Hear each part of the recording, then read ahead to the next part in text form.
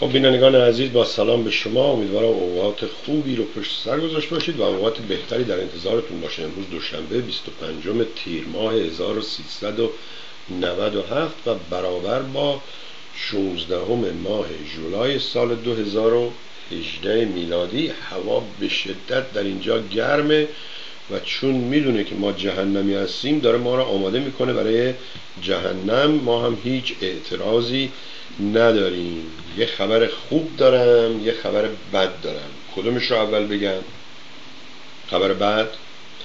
آقای امیر حسین لادن امروز نمی‌تونن با ما باشن ولی هم یه ویدیوی جدیدی درست کردن که به اصطلاح اهداف یا هدف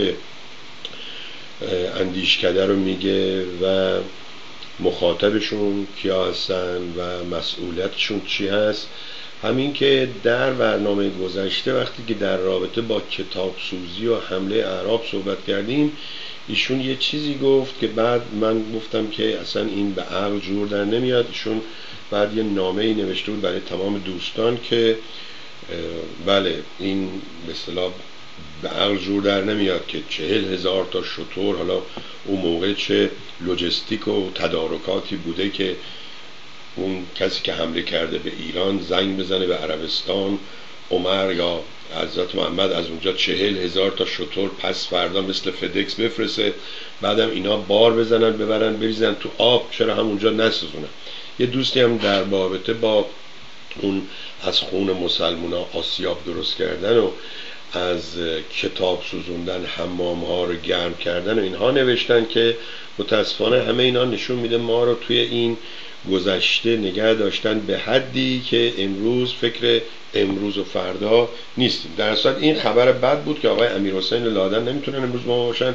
امیدوارم هفته آینده با ما باشن چون دوشنبه بعد ممکنه من اینجا نباشم. گفت اگر بار گران بودیم و رفتیم اگر نامهربان بودیم و رفتیم. این از خبر خوش این که بالاخره آقای جلیل منتظری آقای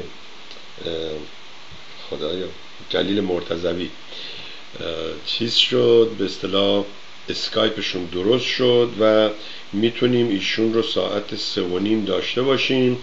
بعد به من گفتن که شما که می‌دونی من به خاطر این مشکل چشم و اینها باید program های مخصوصی استفاده کنم و همه این program ها درست کار نمی‌کنه با اسکایپ ولی بالاخره درست شده و هستند و ساعت سه و نیم با ایشون خواهیم بود تا درباره کتاب جدیدش صحبت کنه و ازش بپرسم آقا این آمریکای امروز همین آمریکایی که قبلا دربارش کتاب نوشتی و هم شما دوستش داشتی هم ما دوستش داشتیم هنوزم بهترین کشور دنیاست. بگذاریم که این دیوانه زنجیلی شالاتان بلند شده یکی یکی کشورها رو که میره همه رو خراب همه رو با ما دشمن می‌کنه و از اینجا میاد. یه چیزی میگه یه ساعت بعدش میگه من نگفتم عوض می‌کنه.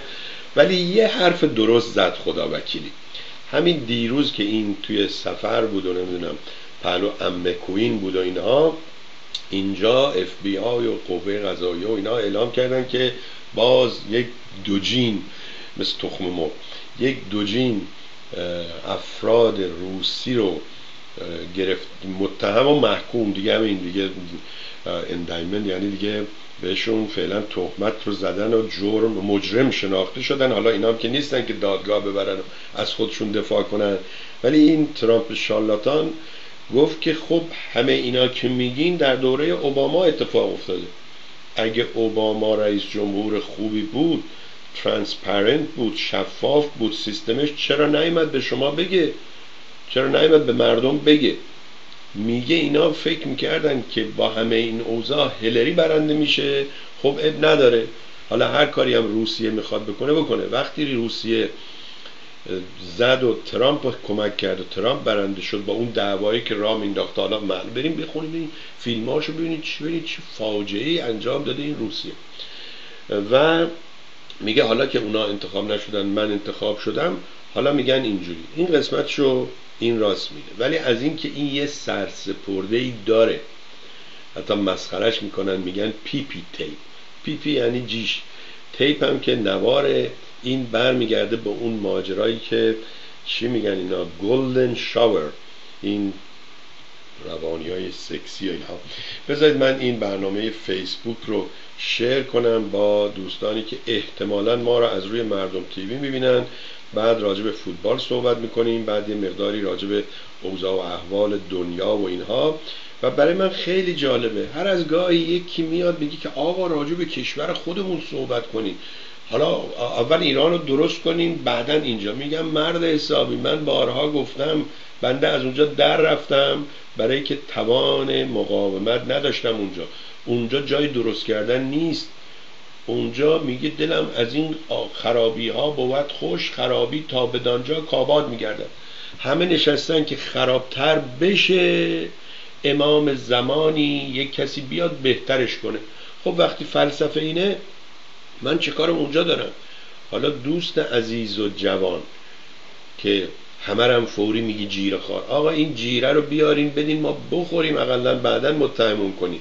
آقای گلن ترشیزی که میگه ایشون مهندسه کار مهندسی می‌کنه انگار ما فعله بودیم. و ما مدیا هستیم. آقا مجاهدین که به مدیا اگه پول می‌دادن که مدیا ازشون خوبی می‌گفتن که. مجاهدین به شما مهندسا و دکترا پول میدن. شما ها رو با زن و بچه می‌برن فرانسه هتل و خرج و اینها که اونجا های پرچم علم کنید. برای کسی که زنده هست السید بازی در بیارید. داستان السید رو برید نگاه کنید. بذارید من این از روی صفحه فیسبوک شخصی خودم این رو با مردم تیوی شیر کنم. شیر. بله. این روز یکی از دوستان لطف کرد و گفت که بیاین بشینیم اینجا با هم فوتبال فینال رو نگاه کنیم. تو ایران گفتیم فینال نه؟ بعد من از فوتبال بی خبر اصلا فکر می‌کردم انگلستان هست و کروشیا. می‌دونستم یکیش کروشیا هست. کروشیا هم فکر کنم به ایرانی میگن کرواسیا دوست اون معنی کراوات میده. حالا چرا یک کشوری اسمش کراواته من نمی‌دونم. در هست. رفتیم اونجا وقتی میری جای آمریکایی مهمونای ایرانی آمریکایی اینجوری که میگه یه کاغذی در میارم به نظر شما کی برنده میشه؟ من گفتم امیدوارم کروشیا گفت خب 5 دلار بده. گفتم آقا نظر که می‌خوایم بدیم با پولم بدیم. کاش ما این سیستم تو مردم تیوی را مینداخت اون از 5 دلار دادیم گفت خب به نظر چند میشه؟ گفتیم آقا ما اومدیم اینجا دو تا آبجو بخوریم اصلا از فوتبال خبر نداریم. حالا چی؟ حالا دیگه با پیشگویی هم بکنیم. یک به صفر. 5 دلار گرفتن. نیمه اول این میشه یا همه بازی گفتیم آقا یه سال دیگه بکنیم ما از اینجا در میریم. اون 21 سالی بود. گفت آقا جامده گفت بله جامدم هست. گفت مایه گفت بله مایه هم هست. گفت تو جیب جا می‌گیره.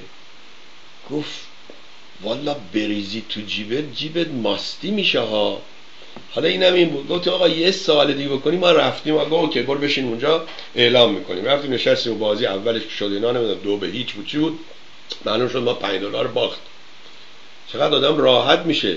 چون وقتی میوازی دیگه ناراحت نیستی. باختی تموم شد رفت. چرم و سگ برد. توهین نباشه به این دوستان. این مسئله ضرور مثلا در هر صورت بازی کردن و دیدیم که فرانسه برنده شد. بعدش هم چه ماچ و بوسه هایی چه بغل کردنی از رئیس جمهور کروشیا و اینها. و این وسط همون موقعی که بازی تموم شد بارون شدیدی اومد و گویا که معمورین آقای پوتین آمدن و فقط رو سر اون چتر گرفتن. بعد که دیدن خیلی زشته آقا تو میزبانی اقلا دو تا چتر برای اینا بیار بعد برای اونام چتر بردن. در این مورد صحبت می‌کنیم. ولی بذارید دوستان ما 20 سال این برنامه ها رو داریم. 20 سال با چیزایی که پیش میریم. یه موقع می‌گفتیم که پیامگیر. بعد گفتن که voice mail. بعد گفتن answering machine بعد گفتن answering service که یه در من زنگ زدم به یه جایی بلد نبودم دیگه. خانمه گفت ما answering service هستیم. خندم گرفت. گفتم ما تا حالا شنیدیم answering machine ماشین جواب میده. این خانمه میگه من answering machine service هستم. بعد معلوم شد که زورا که مطلب دکترا میبندن و اینها یه عده هستن جواب میدن. حقیقتا هیچ کاری هم نمی‌کنن. اگه بذارن پیام بره رو وایس میل خود دکتر بگیره زودتره تا این بگیره و بنویسه. به شما بگی من کاری نمی‌کنم. باشه پیام شما رو میدم به دکترتون. دکترتون بهتون زنگ بزن. برای خودشون دکون باز کردن. اینا شغلای جدیدی که با تکنولوژی جدید میاد و نگران نباشید که حالا که تکنولوژی اومد ما بیکار میشیم. باید یکم بجنبی شغلتو عوض کنی یه چیز جدید یاد بگیری. و اما راجع به تلفن داریم صحبت کنیم آقا خانم من نمی‌دونم. چقدر این مسئله مشکله که زنگ بزنیم به یه جایی که می‌دونیم طرف معمولا نیستش. حالا صد درصد نه 90 درصد این سوربی نیست که اینجا جواب بده. زنگ می‌زنیم و خودمون رو آماده می‌کنیم تا سوربی روزه امام حسین و کربلا رو می‌خونه. تلویزیون مردم و شما خیلی مهم هستید. برای ما اگه شما نباشید اصلا ما میمیریم. نباشید شب با پای پتی باید بخوابیم. اینا خودم آماده می‌کنم فکل و کراوات. یه جوره آبم بینوشم یه پیام می‌ذارم. سلام من سوربی هستم. زنگ زدم راجع به برنامه این سوربی که تو تلویزیونه صحبت کنم. دیروز برنامه روز سیزدهم رو نگاه می‌کردم دقیقه چهل و دو. این آقا گفت دو دوتا میشه هشتا دوستان من دکترا دارم دو دوتا میشه چهار تا. شما نظرتون چیه؟ تموم شد. شماره تلفن منم هست. دو سف سف یک ببخشید پشت یک کامیون نوشته بود که رانندگی من چطوره؟ بعد زیرش نوشته بود به این شماره زنگ بزنید. 1 800 eat shit. حالا دیگه خودتون می‌دونید. چه مشکلیه که یه دوستی مثلا برای ما پیام گذاشته. بذارید من این پیام رو برای دوازده تا از دوستان فرستادم. یکیش به شوخی گفته آقا اینو بفرست برای تیمارستان. شاید اونا بتونن بفهمن. یکی نوشته آقا مگه من نمی‌دونم زبان چی چی بلدم؟ هر کدومشون یه جوکی یه مسخره ای کردن که حالا یه نفر آقا حالا شما هر چی بگو من پیرم مسنم. دیگه بابا جون این تلفن که الان چند سال همه پیامگیر و اینا والا تو ایران الان زنگ که می‌زنن تلفن‌هاشون از تلفن‌های ما پیشرفته تر بهتر اینا. بذارید من این مسیج رو برای شما پخش کنم. شما به من بگید این آقا چی میگه. دوبارم پخش می‌کنم. ساکتم میشه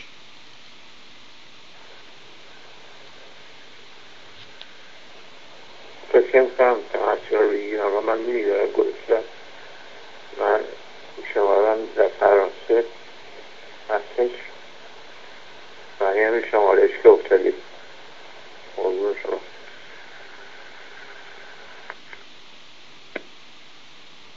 یه بار دیگه پخش کنم. صداشم بلندتر. بفرم. این صدا بلندتر.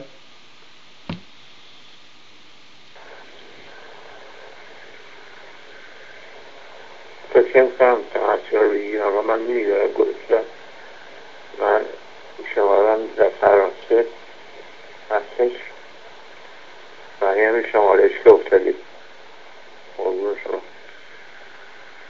آقا قربون این اون نرو. من نمی‌خوام شما قربون من بری. این قربون شما یعنی چی؟ اولی که زنگ می‌زنی دوست عزیز بگو کی هستی؟ چی می‌خوای بگی؟ درباره چی صحبت می‌کنی؟ آخه این چه پیامیه؟ من و تو ایرانی که میگیم هنر نزد ایرانیان است و بس. سرود ای ایرانمون میگیم ای مرز پرگوهر که خاکت همش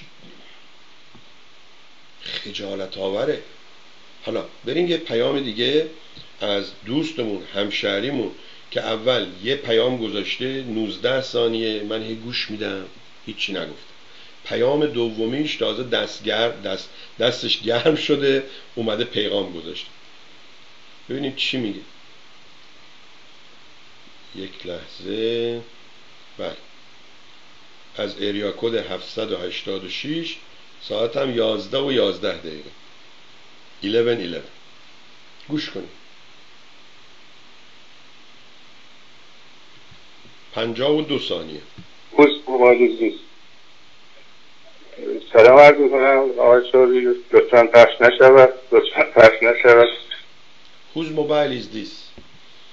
شماره ما رو گرفته مثل که بعدم فهمیده ما هستیم. بعد گفته که پخش نشود.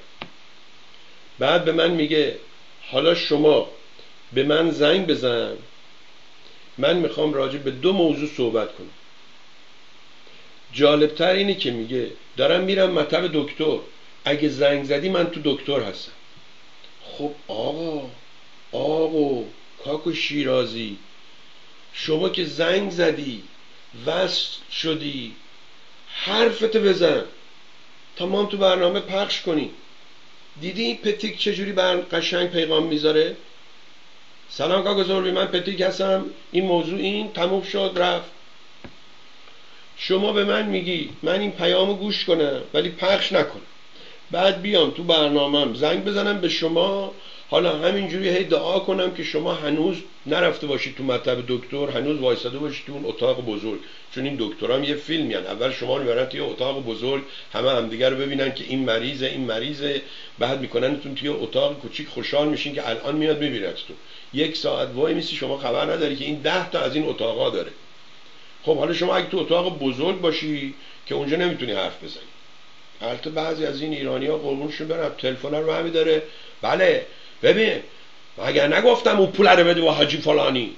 برو دیگه برو تا دیر نشده بابا بلند شو برو بیرون. داد نزن. عزیز من حسن آقو قربونی چه شاد برم. شما که زنگ زدی می‌خوای راجع به فوتبال صحبت کنی؟ سلام علیک پیشکشت. معرفی خودت پیشکشت. آقا ما غلط کردیم مردیم از بس گفتیم. پیشکشت. می‌خوام درباره برنامه فوتبال دیروز صحبت کنم. تیمی که من دوست داشتم برنده شد و هر چی دیگه که دلت می‌خواد سه دقیقه صحبت کن. ما پخش میکن یه پیام یه تلفن یه دستگاه پیامگیر ما بلد نیستیم. وقت می‌خوام بریم به این آخونده که از بچگی رفتن درس پدرسوختگی خوندن تو حوزه های علمی قوم بریم طرف اینا بریم باشون مقابله کنیم. و اون آقا میگه آقا اول برو مملکت خودتو درست کن. آقا شما برنامه من نگاه کنیم اینی من بارها گفتم من وطن فروشم. می‌خوام مملکتمو بفروشم وطنم بفروشم. شما اگه خر خوبی هستی بیا بخر. منظورم وطن خر خوبی هستی. برو آقا دنبال کش که تو بساب خودتم یا در رفتی یا فکری هستی که در بری. خب آقای مهدی قربانی هم درود بر شما. آقای جلال مومندم سلام. چطوری؟ آقا خیلی حالم بده. همونجوری که به اون دوست باهایی گفتیم آقا شما که نگاه می‌کنی حمایت کن. گفت نه آقا شما حمایت احتیاج نداری. شما اگر گرسنه هستی غذای روح. گفتم آقا این مزخرفات چیه؟ خودت از فردا تا یک هفته غذای معمولی نخور غذای روح بخور ببینم چجوری میمیری جون از فلان در میره. مزخرف میگیم همه. آقا از یکی می‌پرسید چطوری؟ اگه طرف گفت من گرسنه هستم باید خوراک بهش بدی. احوال ما خوب نیست قربان. تابستون همه رفتن مسافرت حمایت کم شده. حمایت کنید. این وزین. اون دوستونم درود بر شما. خیلی ممنون. درود ما هم بر شما. این همه درود ورود درود خروج. درود درود. درود خروج.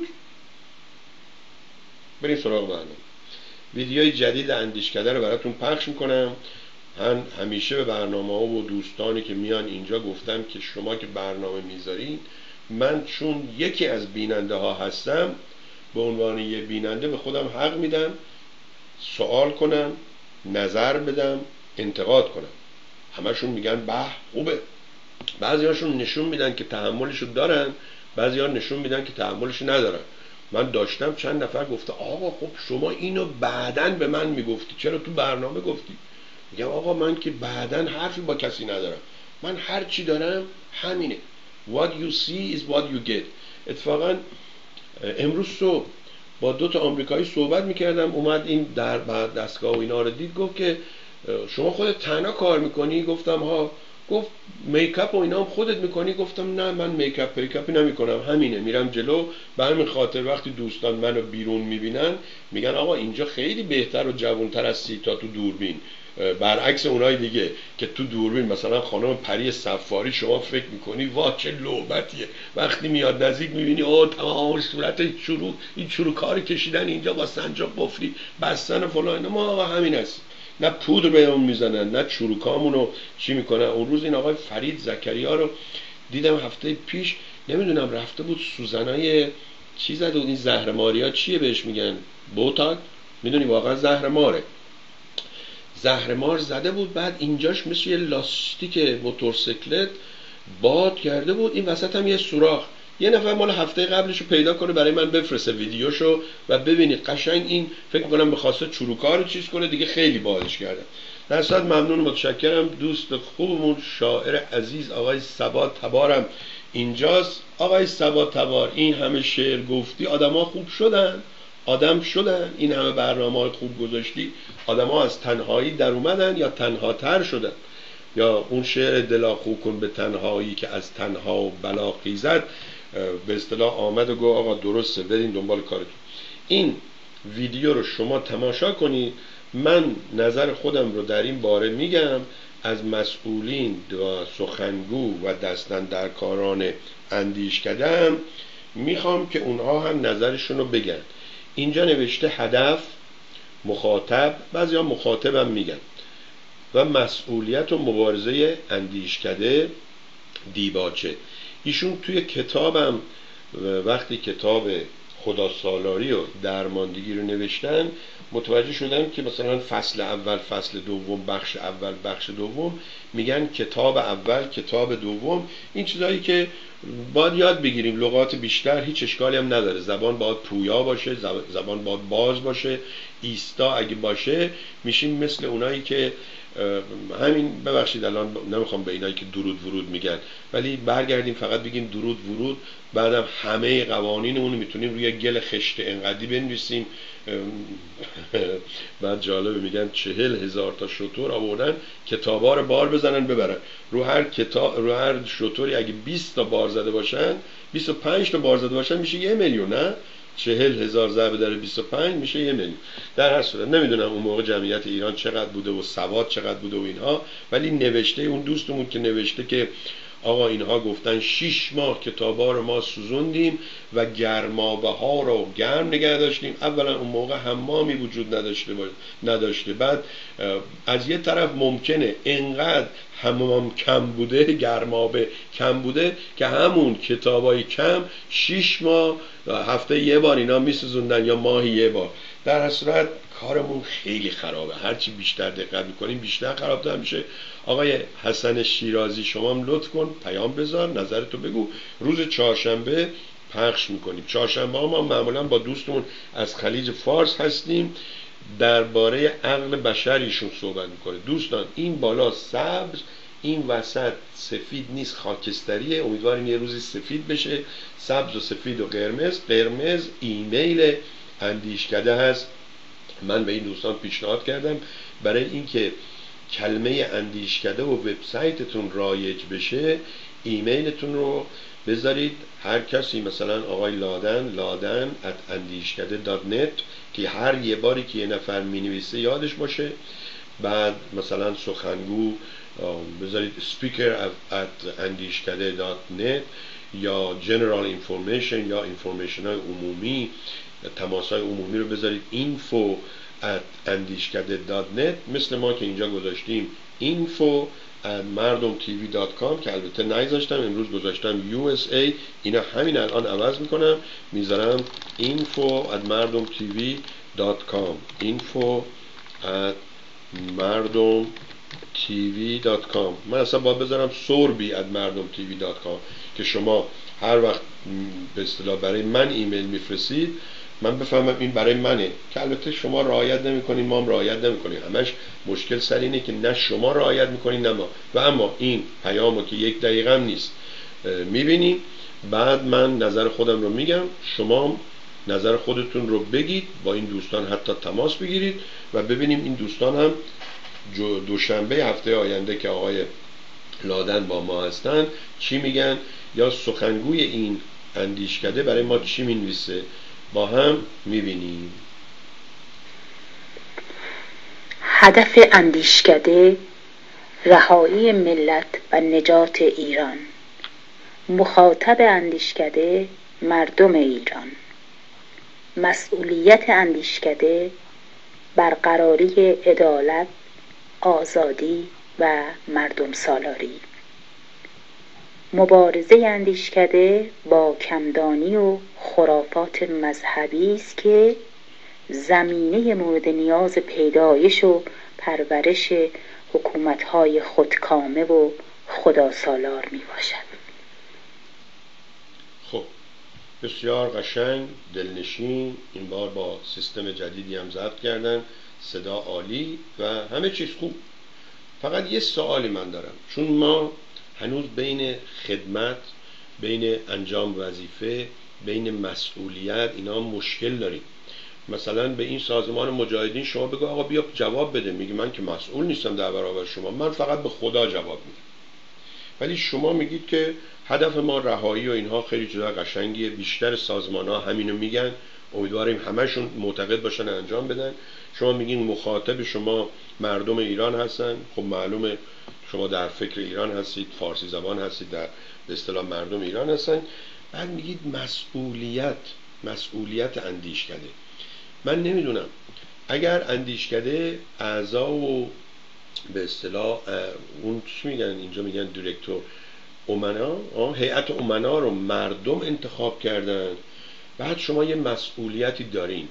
چون شما از طرف مردم مسئول شدید یکی به حساب کتاب برسه یکی به نظافت برسه یکی به قانون برسه یکی فلان. بعد این مسئول بودن جوابگو یا مسئولیتم بعدا همراه داره که من مثلا بیام بگم خب شما آقا مسئول اینجا بودید چرا اینجا این درخت شکسته؟ مردم تصادف می‌کنن فلان چجوری؟ اگر خودتون این مقاما رو می‌گیرید بدون انتخاب مردم و اینها و اینقدر های خوبی هستین با وجود که مردم شما را انتخاب نمی‌کنن ولی خودتون مسئول می‌دونید که جوابگو باشید که صد آفرین بر شما. ولی اگر نه این چیه این اندیشکده؟ اندیشکده تا اونجایی که من می‌دونم یه جایی اینجا بهش میگن تینک تانک نه؟ این میشه بگیم اندیشکده یا مثلا یه چیز جدیدیه. به نظر من شما بیان اول اندیشکده رو توضیح بدید چون جنبش رو ما بلدیم حزب رو بلدیم سازمان رو بلدیم سازمان غیر انتفاعی رو بلدیم هیچ کدومش هم درست انجام نمیدیم. شما بیاد به ما بگید اندیشکده یعنی چی؟ یعنی مجموعه یه سری که کارشون اندیشیدن و فکر و راه چاره هست دور هم جمع میشن و بعد از مشورت درباره یه موضوعی اون راه حل رو به ما ارائه میدن. یه مقداری بیشتر اینجوری صحبت کنیم و انتخابات چجوریه قرار هست چی باشه این سازمان؟ شما مثلا میگید مبارزه با این به اصطلاح نادانی و اینها مبارزه با نادانی رو چجوری احتمالا شما چون اهل اندیشکده هستید اهل شمشیر و زور و چماق و اینا نیستید که ولی چجوری یه مقداری برای من توضیح بدید. یا احتمالا دوستانی هستن که اونا مثل من متوجه نمیشن برای اونا هم توضیح بدید. دوستانی که روی فیسبوک هستید شما می‌تونید سوالاتون رو انجام بدید و من ازتون خواهش می‌کنم دوستان روی فیسبوک که میان این سلام علیک و حالتون چطوره اینا رو بندازید دور. زتارف کم کنید. بر مبلغ افزایید. مبلغ میشه زمانی که من به جایی که بگم درود ورود. سلام. حال شما. حال شما. السلام علیکم. اهلا و سهلا. دو تا کلمه یه چیز دیگه بگیم یاد بگیریم بریم. پس این برنامه ویدیوی جدید اینها رو نشون دادیم گفتیم راجع به آقای لادن دوشنبه آینده و اما برم سراغ اون نوشته ای که ایشون نه تنها برای من فرستاده بود برای دوستانشون در اندیشکده هم فرستاده بودن و به اونها هم گفته بودن که من یک چنین برنامه ای داشتم اینجا ستیستیک یا استاتیستیک که میگن یعنی آمار ارقام. ایشون نوشته که دوستان گرامی با درود.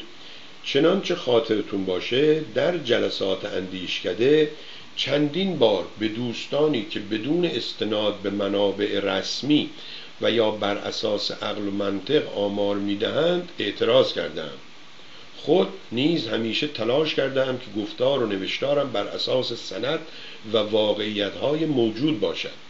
متاسفانه در مصاحبه دوشنبه یک آماری در مورد کتاب سوزی عربان یا عربها پس از حمله به ایران بیان کردم که سندیت تاریخی نداشت و با عقل و منطق هم جور نبود.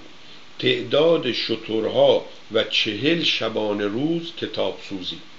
زبانزد فارسی که می‌گوید خربزه می‌خوری پای لرزش هم باید بنشینی.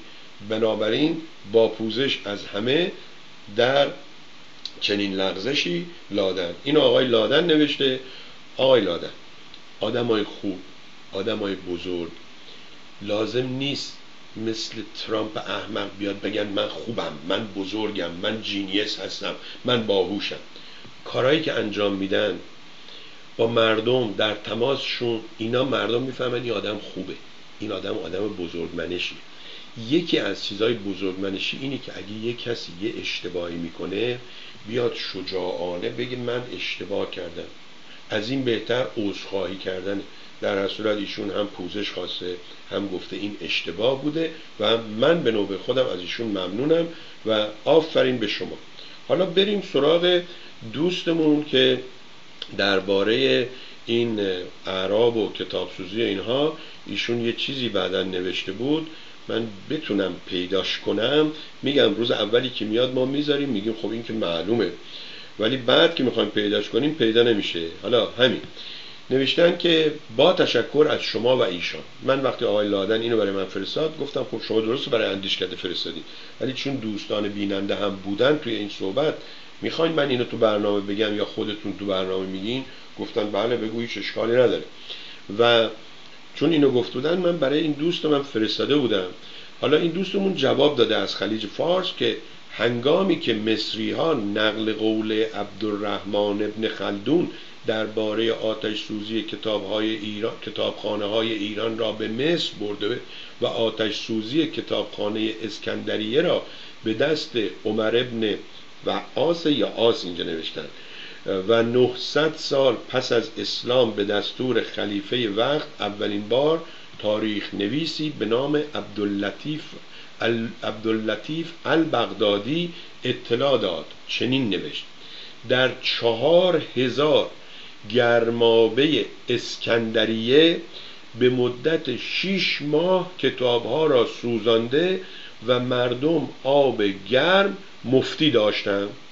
شطور و تعدادش در این خبر خبر تاریخی به گرمابه تغییر رافته در آن زمان کجا این این تعداد گرمابه در اسکندریه بوده.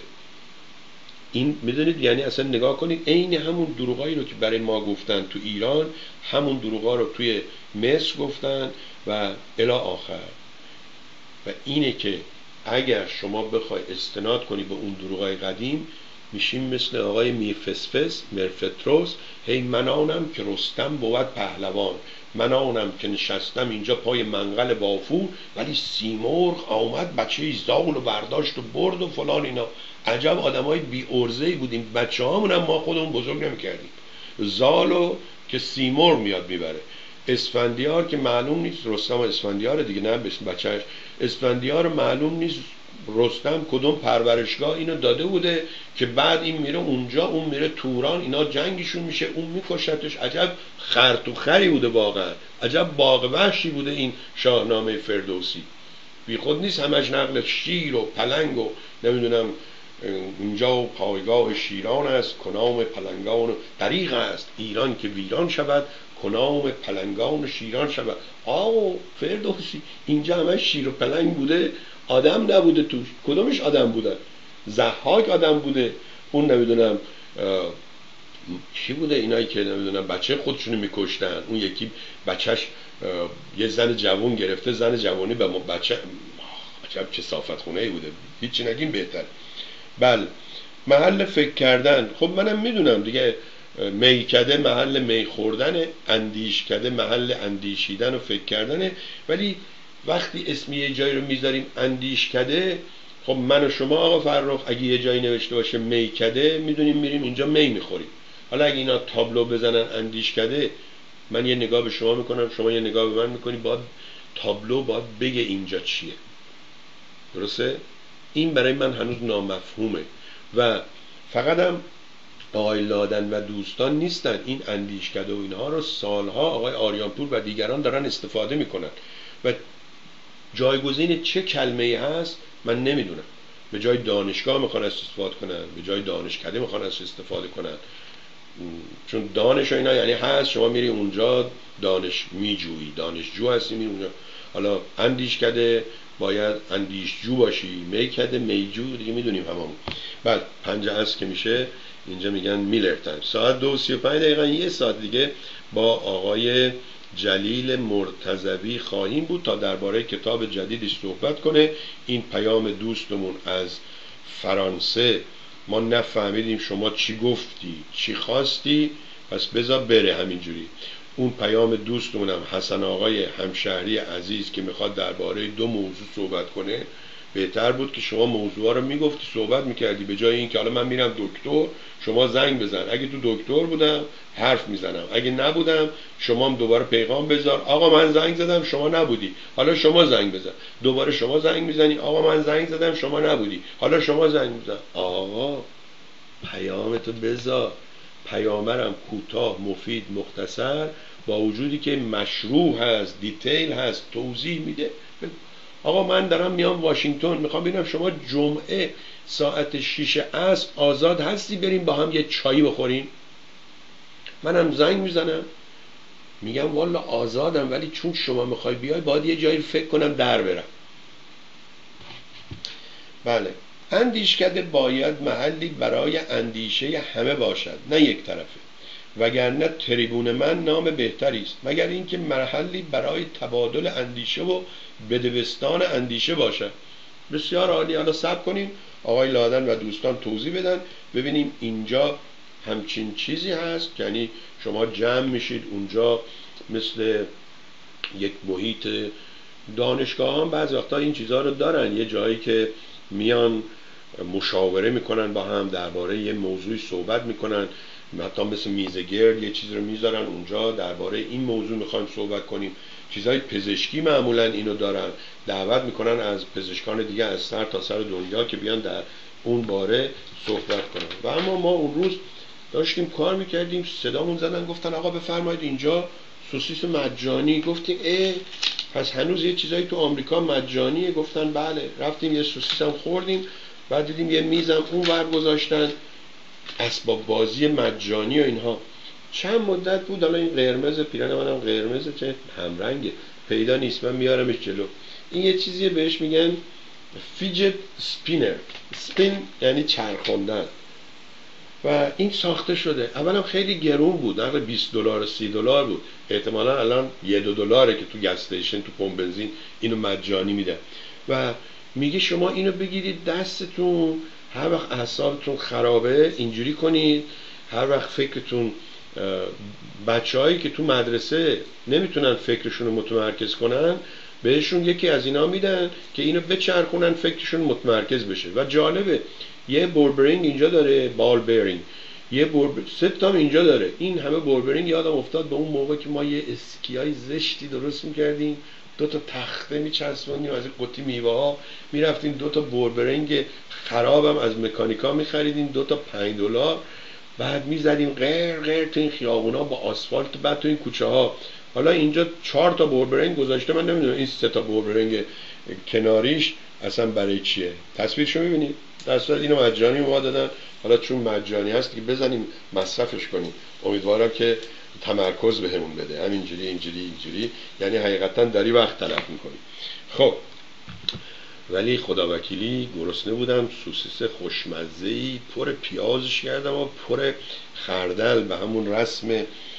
بعضیا به این خردل میگن خردل. غلط بابا جون خردل یعنی دل خر خردل یه تخم چیز گیاهی هست مثل سماق که میکوبنش چی میشه اینم یه کارایش می‌کنن اینجوری میشه. در اصل اینم از این و اما جای شما خالی بود. دیگه تموم شد رفت. یه روز بود اینا مثلا 15 سالگی 10 سالگی اینا جشن می‌گیرن. بعد یه چیزای مجانی میدن چهار تا مشتری جدید بیاد. یه چیز بالون خیلی بزرگی فرستاده بودن هوا که اونی که نمی‌دونه اینجا گستیشن پمپ بنزین شله بعد کرد میشه میگه ای نگاه کن نزدیک خونه اون این پمپ بنزینه بود حالا یه همبرگر یه سوسیس هم بهش داده دیگه از دفعه دیگه مشتریش میشه. نوشابه مجانی سوسیس مجانی و من دیدم بعضی از این آمریکایی‌ها 4 5 تا بر میدارن. حالا یا می‌خواسته برای اداره ببره برای دیگران یا واقعا می‌خورن. اینا بعضی هاشون 4 5 تا سوسیس می‌خورن. ما یکیش که می‌خوریم دیگه هم نمی‌تونیم شام بخوریم. خب بذارید ببینیم دیگه براتون چی گذاشتم. عکس ترکیه. اتفاقا یک ویدیویی از یه خانمی دیدم که توی همین George Mason University همین منطقه هست. و ازش هم خواستم که اگر دوست داره بیاد مهمون برنامه ما باشه. این خانم با شور و هیجان تعریف می‌کنه. مهم نیست که الان ترامپ آمده یا هیلاری کلینتون برنده می‌شد و اینها. مهم اینه که برنامه حمله به ایران برنامهش ریخته شده و این خانم ادعا می‌کنه. قبلا هم یک سال قبل از کودتا در ترکیه ایشون گفته بوده و همه مسخرش می‌کردن. بعد که کودتا شد تو ترکیه خیلی ها اومدن بهش گفتن شما اینا رو از کجا می‌دونستی؟ و یکی از دوستان برای من نوشت که این خانم چند مدتی هم برای اف بی آی کار می‌کرده. حالا نمی‌دونم نشود بعد استعفا دادی یا اخراجش کردن. اون اگر آمدن و مهمان ما شدن در این باره صحبت می‌کنیم ولی ترکیه من این آقای هاویر سولانا مطمئنم شما هم مثل من اسم ایشون رو خیلی توی اخبار و این ور شنیدی ولی ببینیم که این چیه و حالا چی گفته. خیلی جالبه ها. این مال 20 مال 20 ساعت قبل. 20 ساعت قبل یعنی 16 امروز 15 جولای. نوشته که این آقای هاویر سولانا که رئیس این ESAD فلان هست Center for Global Economy and Geopolitics. جیوپالیتیک یعنی سیاست منطقه‌ای و فلان اینها. حالا بگذاریم. نوشته که I want to make a confession. Confession یعنی اقرار. این چیزیه که دوستان کاتولیک دارن. میرن توی میرن توی کلیسا و اون اینا دلشون خوش کردن هر گناهی می‌کنن میرن اونجا یه پولی میریزن تو صندوق کلیسا و اعتراف می‌کنن. اون پدر روحانی هم گوش میده. اون از کسافتکاری همه خبر داره. جوک ها ساختن در این باره. و اما میگه که من می‌خوام یه چیزی رو اقرار کنم. We knew that the coup was going to take place on July 15 but we haven't um, we haven't to help Turkey. We haven't to help. این جمله درست نیست در میگه که ما می‌دونستیم 15 جولای یک کودتایی تو ترکیه انجام میشه. من یکم گیج شدم. منظور من منظور این پارسال بود پیلارسال بود کی بود که میگه یه آقای ترکی توی پنسیلوانیا می‌گفتن مسئوله که اون گفت آقا من کار دارم؟ بعد حالا نوشته ما هیچ کاری انجام ندادیم. بعد میگه که that is why NATO یا ناتو must apologize to Mr. اردوغان میگه که این دلیلی هست که ناتو باید عذرخواهی کنه از رئیس جمهور ترکیه این آقای اردوغان که خود اردوغان هم یه دیکتاتور مذهبی یک کسی. نه عزیز من آقای خزایی ما تلفنمون اینجا مستقیم نیست. شما که بیننده برنامه من هستی چندین سال هنوز نمی‌دونی که ما چند سال تلفن رو برداشتیم انداختیم دور. بذار بهت نشون بده این پرده می‌دونی مثل تعذیه اونا اینجا اینجا نه اینجا نیست. کجا؟ اصلا بردم انداختنش تو بیسمنت شادم حالا بله. این تلفن آها اینجا بیا. نگاه کن. این تلفن ما اینه. نه سیم داره نه دسته نه مصه هیچ قطعش کردیم. گفتیم آقا این چیه؟ ما میایم اینجا برنامه شروع می‌کنیم. آقای تیرانداز از دوبی یا از یک کشور عربی زنگ می‌زنه یه مشتی چیزایی رو میگه یه عده دیگه به اون حمله می‌کنن فردا اون یکی به اون فوش میده. ولمون که آقا من حرف خودم می‌زنم. شما هم حرف خودتو بزن. همه امکاناتی که من دارم آقای خزایی شما هم داری. شما فیسبوک داری. من یه تلفن دستی دارم شما دو سه تا تلفن دستی داری شما وایس صحبت. یا اگه می‌خوای صحبتات از این به اصطلاح پلتفرم از این سکوی ارتباطی به دوستان برسه باید ببینید قانون بازی ما چیه؟ میگه آقا یا ویدیو درست کن بفرست یا آدیو درست کن بفرست. اگر تنبلی یا اگر وسایلش رو نداری از تلفن ما استفاده کن سه دقیقه مجانی صحبت کن. ولی هی نگو پخش نشود پخش نشود ساعت یازده و یازده دقیقا به من زنگ بزنید. پیامتو بذار من پیامتو پخش می‌کنم. این همه روزه که من خوندم اگه شما گوش داده بودی قبلا پیامت پخش شده بود مردم فهمیده بودن نظر آقای خزایی درباره فوتبال چی هست.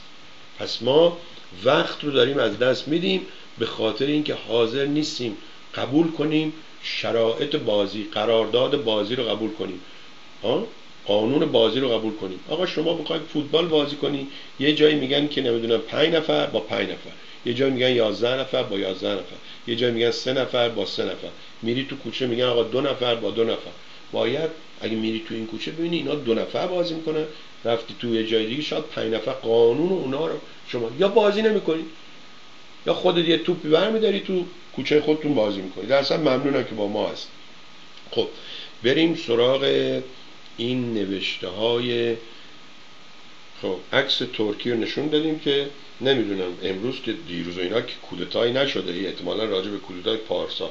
و پیام اون دوستمون رو هم پخش کردیم. به خاطر تلفنش که صرف یازده سی سه بود من فهمیدم ایشون مال فرانسه است ولی یه دوستی هست به نام بیل. وقتی بیل هست آغاز دیگه. ولی چون عکس نداره ما نمی‌دونیم. آغاز خانم به نام بیل کاهن یا همون کوهن. من حالا عکسش هم بهتون نشون میدم یعنی سایتش و فیسبوکش و یه تبلیغ مجانی برای ایشون. چون یادم نمیاد یه بحثی یه صحبتی یه جایی شده بود.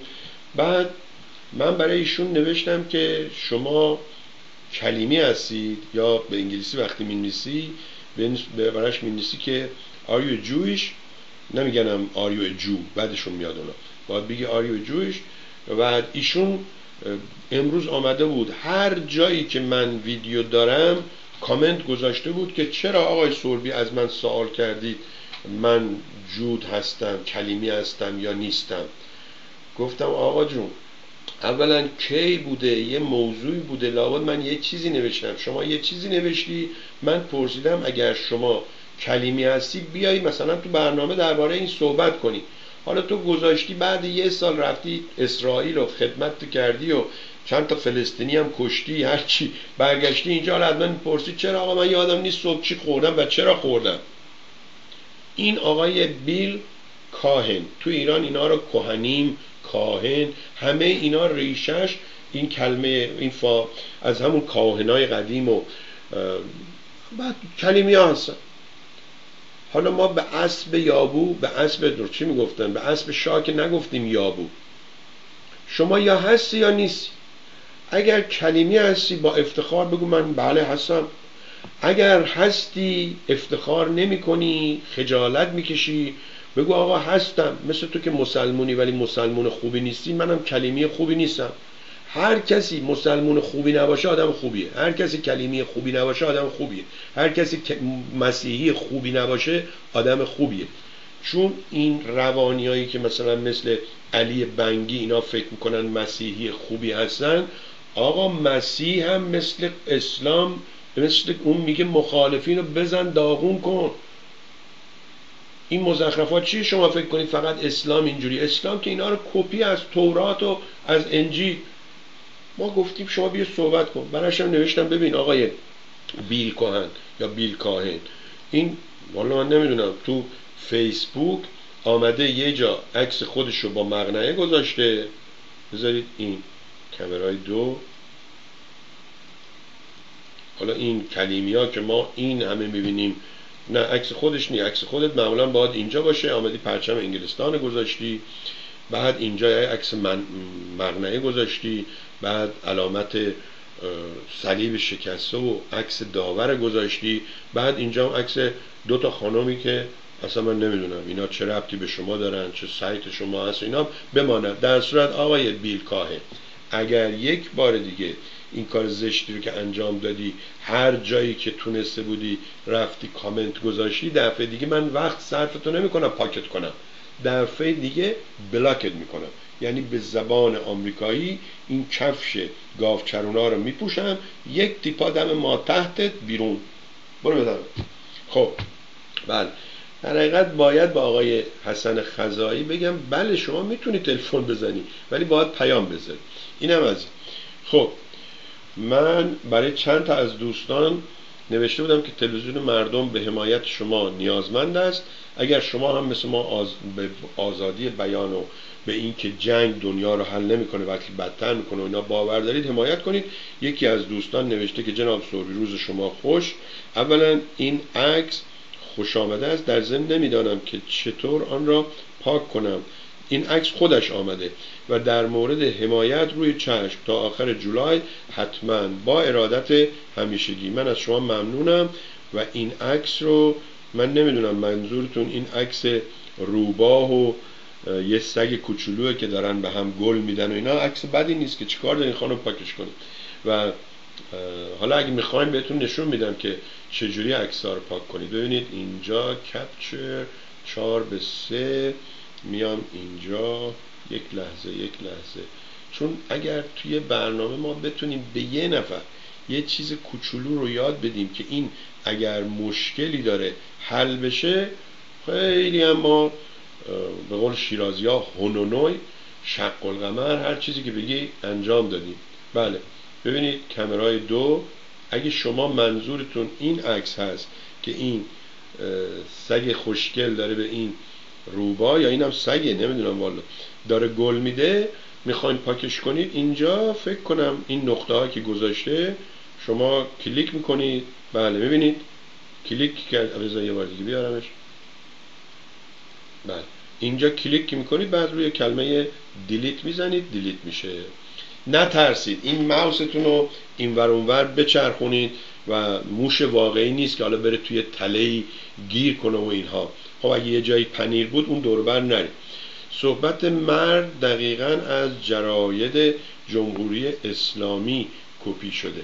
یک زن مؤمن و مسلمان وقتی هجاب را برمیگزیند در واقع خانواده و یا نسلی را سالم و پاک نگه میدارد. زیرا از دامن زن است که مرد به معراج می‌رسد. سفارش هجاب و نقاب میدم تا زودتر به معراج برسی. اینم آقای مسعود سویلی گاهی چیزایی که میفرسه همچین با مزه نیستن. ولی خب عیب نداره یه دوستی گفت آقای سربی قبلا سرتیتر خبرها رو میخوندی. گفتم بله موقعی که اون دوست دروغگو و جوان ما مردم report dot com رو استفاده می‌کرد ما برای اینکه اونا هی promote کنیم نشون می‌دادیم میخوندیم. همچین که دست چپ و راستش رو شناخت مثل بچه ای که رفت مغازه آهنگری هفته اول که کار کرد اومد به مادرش گفت بیا برای من یه مغازه باز کن. گفت مغازه چی؟ گفت آهنگری. گفت تو که آهنگری بلد نیستی. گفت چرا مامان جون خیلی خوب بلدم. این آهن رو می‌کنی تو کوره همچین که گرم شد میاری بیرون. نمی‌دونیم گردش می‌کنی میله پهنش می‌کنی بیله. ما همین. تا یه چی یاد می‌گیریم فکر کنیم شدیم استاد هی به خاطر همین به هم دیگه این چپراز میگه استاد استاد استاد. یه دو جلسه میره کلاس این مرغ سحر رو یاد می‌گیره در مایه ماهور در میاد استاد بفرمایید اینجا برای ما یه تاری بزنید. همه میگن آقا چقدر مزخرف زد من خودم یه دم به مردم گفتم آقا خانم من اینقدر بد می‌زدم. چرا یکیتون نگفتید بد می‌زنید؟ خودم ضبط کردم گوش دادم خیلی بد می‌زدم دیگه از اون روز گذاشتم کنار. اتفاقا این تاره اینجاست. البته این تار آذریه. پستش هم کردن که برای یه نفر بفرستیم فرانسه عجب تاریه. بگین تو بغل اون دینگ دینگ دینگ مرغ سهر ناله سر یه مرغ سهر خوندن. صد سال همینجور داریم میگیم ناله سر کن. مرغ از بس ناله کرد مرد و از قفس رفت. ما هنوز دنبال ناله اون هستیم. اصلا ما از ناله کردن خوشمون میاد شعرها خوندن. من نگفتم و نگویم که مرا از این قفس آزاد کنید. قفسم برده به باقی و دلم شاد کنید یکی به شوخی گفت آقا میگه قفسم برده به باقی و درش باز کنید من که نگفتم مرا آزاد بله. خب حالا سرتیتر خبرها رو برای این دوستمون که یادمون آورد به اون زمانها می‌خونیم. میگه ابوالفضل میر علی مدیر عامل مدیر, مدیر عامل سامن الحجج بازداشت گفتگوی تاریخی پوتین و ترامپ آلمان دیگر نمی‌توان روی کاخ سفید آلمان گفته دیگر نمیش... نمی‌توان روی کاخ سفید حساب کرد. یعنی یکی یکی دوستا رو از بین برده این ترامپ حالا رفته پوتین و پوتین از این یه چیزی داره که این اینجوری شده غلام حلقه به گوش. و انتقاد متحری از پخش تصویر رئیس جمهور کرواسی تشکر فردوسی پور از سانسورچی و الاخر واکنش روحانی به حمایت خامنه ای از دولت گزینه های خامنه ای جام زهر آخر زمانی یا جنگ آخر زمانی. شاپرک شجری زاده رأی دادم پشیمان شدم الان زخمیم. ایران گفته ممکن است ترامپ به تهران زنگ بزند و خواهان مذاکره شود. چشم اونایی که امید به ترامپ داشتن روشن. مدیر یا مدیر خراسانی گفته فاضل لاریجانی اقدام عملی نکرده بود. از سانسور کردن سینه های گرگ ماده تا سانسور نکردن رئیس جمهور کرواسی یا همون کروشیا کراش کراش اسم دیگه قاطی می‌کنیم. بعد یادون میشه بله. نام سلطان سکه فاش شد. حسین هدایتی را بیشتر بشناسید. علت بازداشت مجدد او این چند, چند مدت پیشم بازداشت شده بود. خیلی جالبه. خلبان منتقد به امنیت پروازها در ایران بازداشت شد.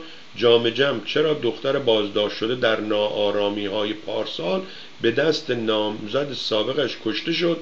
مستعجران در حال ترک تهران هستند. علیرضا فقانی تهدید کرد برای همیشه از ایران می‌روم. کیه این همین یه بازیکنی هم بود میگن که بیچاره مثل که یه اجرای اشتباه کرده اینقدر فوش خار مادر اینا بهش دادن که هم از فوتبال کنار گیری کرده هم گویا شاد این باشه. ببینم اینه علیرضا فقانی تهدید کرد. تهدید دیگه نمی‌خواد بله داور بین المللی فوتبال ایران که قرار است بازی ردبندی جام جهانی روسیه را قضاوت کند تهدید کرد که ایران را برای همیشه ترک خواهد کرد. آقا تهدید می‌کنی؟ حالا میگن چی اونا مثلا میشینن گریه می‌کنن نه تو نرو. داور کمه. یه داور دیگه میارن. مخصوصا این روزا که این ورزش همش شده پول. هر جا بیشتر پول بدن. اون آقای کیروش بود کیروش بود کیروش بود کی بود؟ کیروش. پول میدن از یک کشور دیگه میاد اینجا. اون یکی بازیکن ایرانی پول میدن میره آلمان و فرانسه و روسیه و اینا بازی می‌کنه. اصلا ورزش یه چیز مزخرف شده. دیروز به دوستان گفتم به این خاطره که من اصلا علاقه به دنبال کردن اینا ندارم. تازه از همه این ناخالصی ها که میگذری می‌رسی به اون زد و بند زد و بندای پشت صحنه. بذار من این تار این تار دوستان تار هیدر ترکیه از باکو و والا یه زمانی ما از آقای محمد امینی یه همچین چیزی که تاره می‌زنه 1500 دلار اینو خریدیم. ولی حاضر شدیم به یه دوستمون بدیم 600 دلار. اون دوستمون گفت نه من 300 دلار بیشتر ندارم. گفتم نه دیگه می‌دونی اگر 1500 دلار بدم 300 دلار به خودم توهین شده. تو ایران می‌گفتن نرخمو بش سرمو بشکن ولی نرخمو نشکن. در صورت اینم از این داوری که تهدید کرده اینم مثل اون بهایی که من گفت آقا وقتی بهایی ها بودن صفحه آرشیوتون یادتون هست؟ گفتن بله صفحه, صفحه آرشیو ما پر آدم های مفتخور بود. شما اومدی گفتی عکس آقای دکتر هولاکویی رو بذار کلید دادی نست گفتیم خودت برو بذار. ببخشید شده بود انگار توالت پمپ بنزین. هر کی میمد درست حالا ما در قفل کردیم ولی کلید توالت آویزون کردیم اونجا هر کی میگه تو میگیم چه تاج گلی به سر من زدید؟ آقایون باهایی اون موقع که حالا که رفتید من نگران باشم. اون موقع باید روزی ده ساعت اینجا بودم. الان این ده ساعت 6 ساعت میرم یه جای کار می‌کنم. پولمو در میارم راحت. می‌دونم چه ساعت تا چه ساعت نمی‌خواد قربون صدقه کسی برم نمی‌خواد به کسی دروغ بگم حرفم هم می‌زنم این همون آقاییه که میگه آقا ما شما را حمایت معنوی می‌کنیم. شما احتیاج به غذای طبیعی ندارید. غذای معنوی گفتم آقا برو این مزخرفه رو برای امت بگو. این غذای معنوی رو بده به خود تو خانواده. ببینم همتون بعد از سه روز لحله نمی‌کنی خب این از این. آقای سعید خان نوشته بیل کوهن was a fake profile. He was after داور. بسیار ممنونم ازت. Made comments in all Dawar's post to also post on Dawar's page. من garbage ها من garbage said about دا بله خب الان که اینو شما گفتید من اینو نگه میدارم. یاد دوستان هم میدم. اگر کسی مزاحم هست همچین شما فهمیدید این یه شخصیت قلابی و مزاحم و دروغگوه. ببینید پاک کردن و بلاک کردن خیلی آسونتر از اینه. یعنی اگه اینا خیلی هم الان سریع کار کنن هی بتونن حسابای مختلف درست کنن. باید یه ایمیل جدید درست کنه. بعد اونا براش یه ایمیل بفرستن تایید کنن فلان همون پنج دقیقه وقت می‌گیره. حالا شما از حالا ساعت بگی بذار من اینو بهت نشون بدم. ببین چقدر طول می‌کشه تو من این آقا رو با یک لگد از اینجا بندازم بیرون. بذار اینو نشون بدم. این ساعت رو من چرخوندم این یه دقیقه از کلش. حالا تازه من دارم حرف می‌زنم. بیا میام اینجا میگم block تازه می‌تونی report هم بکنی؟ report بله. ریپورت this profile this is fake account. بعد میای اینجا بعد میگه submit block بله. OK تموم. ببینید هنوز نصف این شیشه عمر ما هم باقی مونده. یعنی منی که تازه اسلو هستم و کامپیوتر دامی هستم سی ثانیه طول نکشید. تازه دارم توضیح میدم. بکنفورد اینجا ماجول عوض می‌کنم و مانیتور عوض می‌کنم. اگه خودم باشم پنج ثانیه. بلاک که میشه یه ثانیه دو ثانیه. بلاک راحت. چرا به من گفتی کلیمی؟ خب حالا چی به اسب شاه گفتیم؟ یا بو خب شما همون اسب شاه هستی. نیست یهودی یست کلیمی چه فرقی؟ یوسف مزوزی. الان اینو دیلیت کنم. اینایی هم که فامیلیاشون اسمشون مثلا پروانه است مینیسه پر یکم فاصله وانه. من نمی‌فهمم. این دیگه چه مرضی بود تو ما ایرانی ها افتاد سوسن مینیسه سو این ور مینیسه سن. خب این برای کیه؟ برای من ایرانیه که نگاه می‌کنم خب می‌فهمم این همون سوسنه برای آمریکاییه. می‌خوای آمریکایی بهت بگی چی؟ سوسین.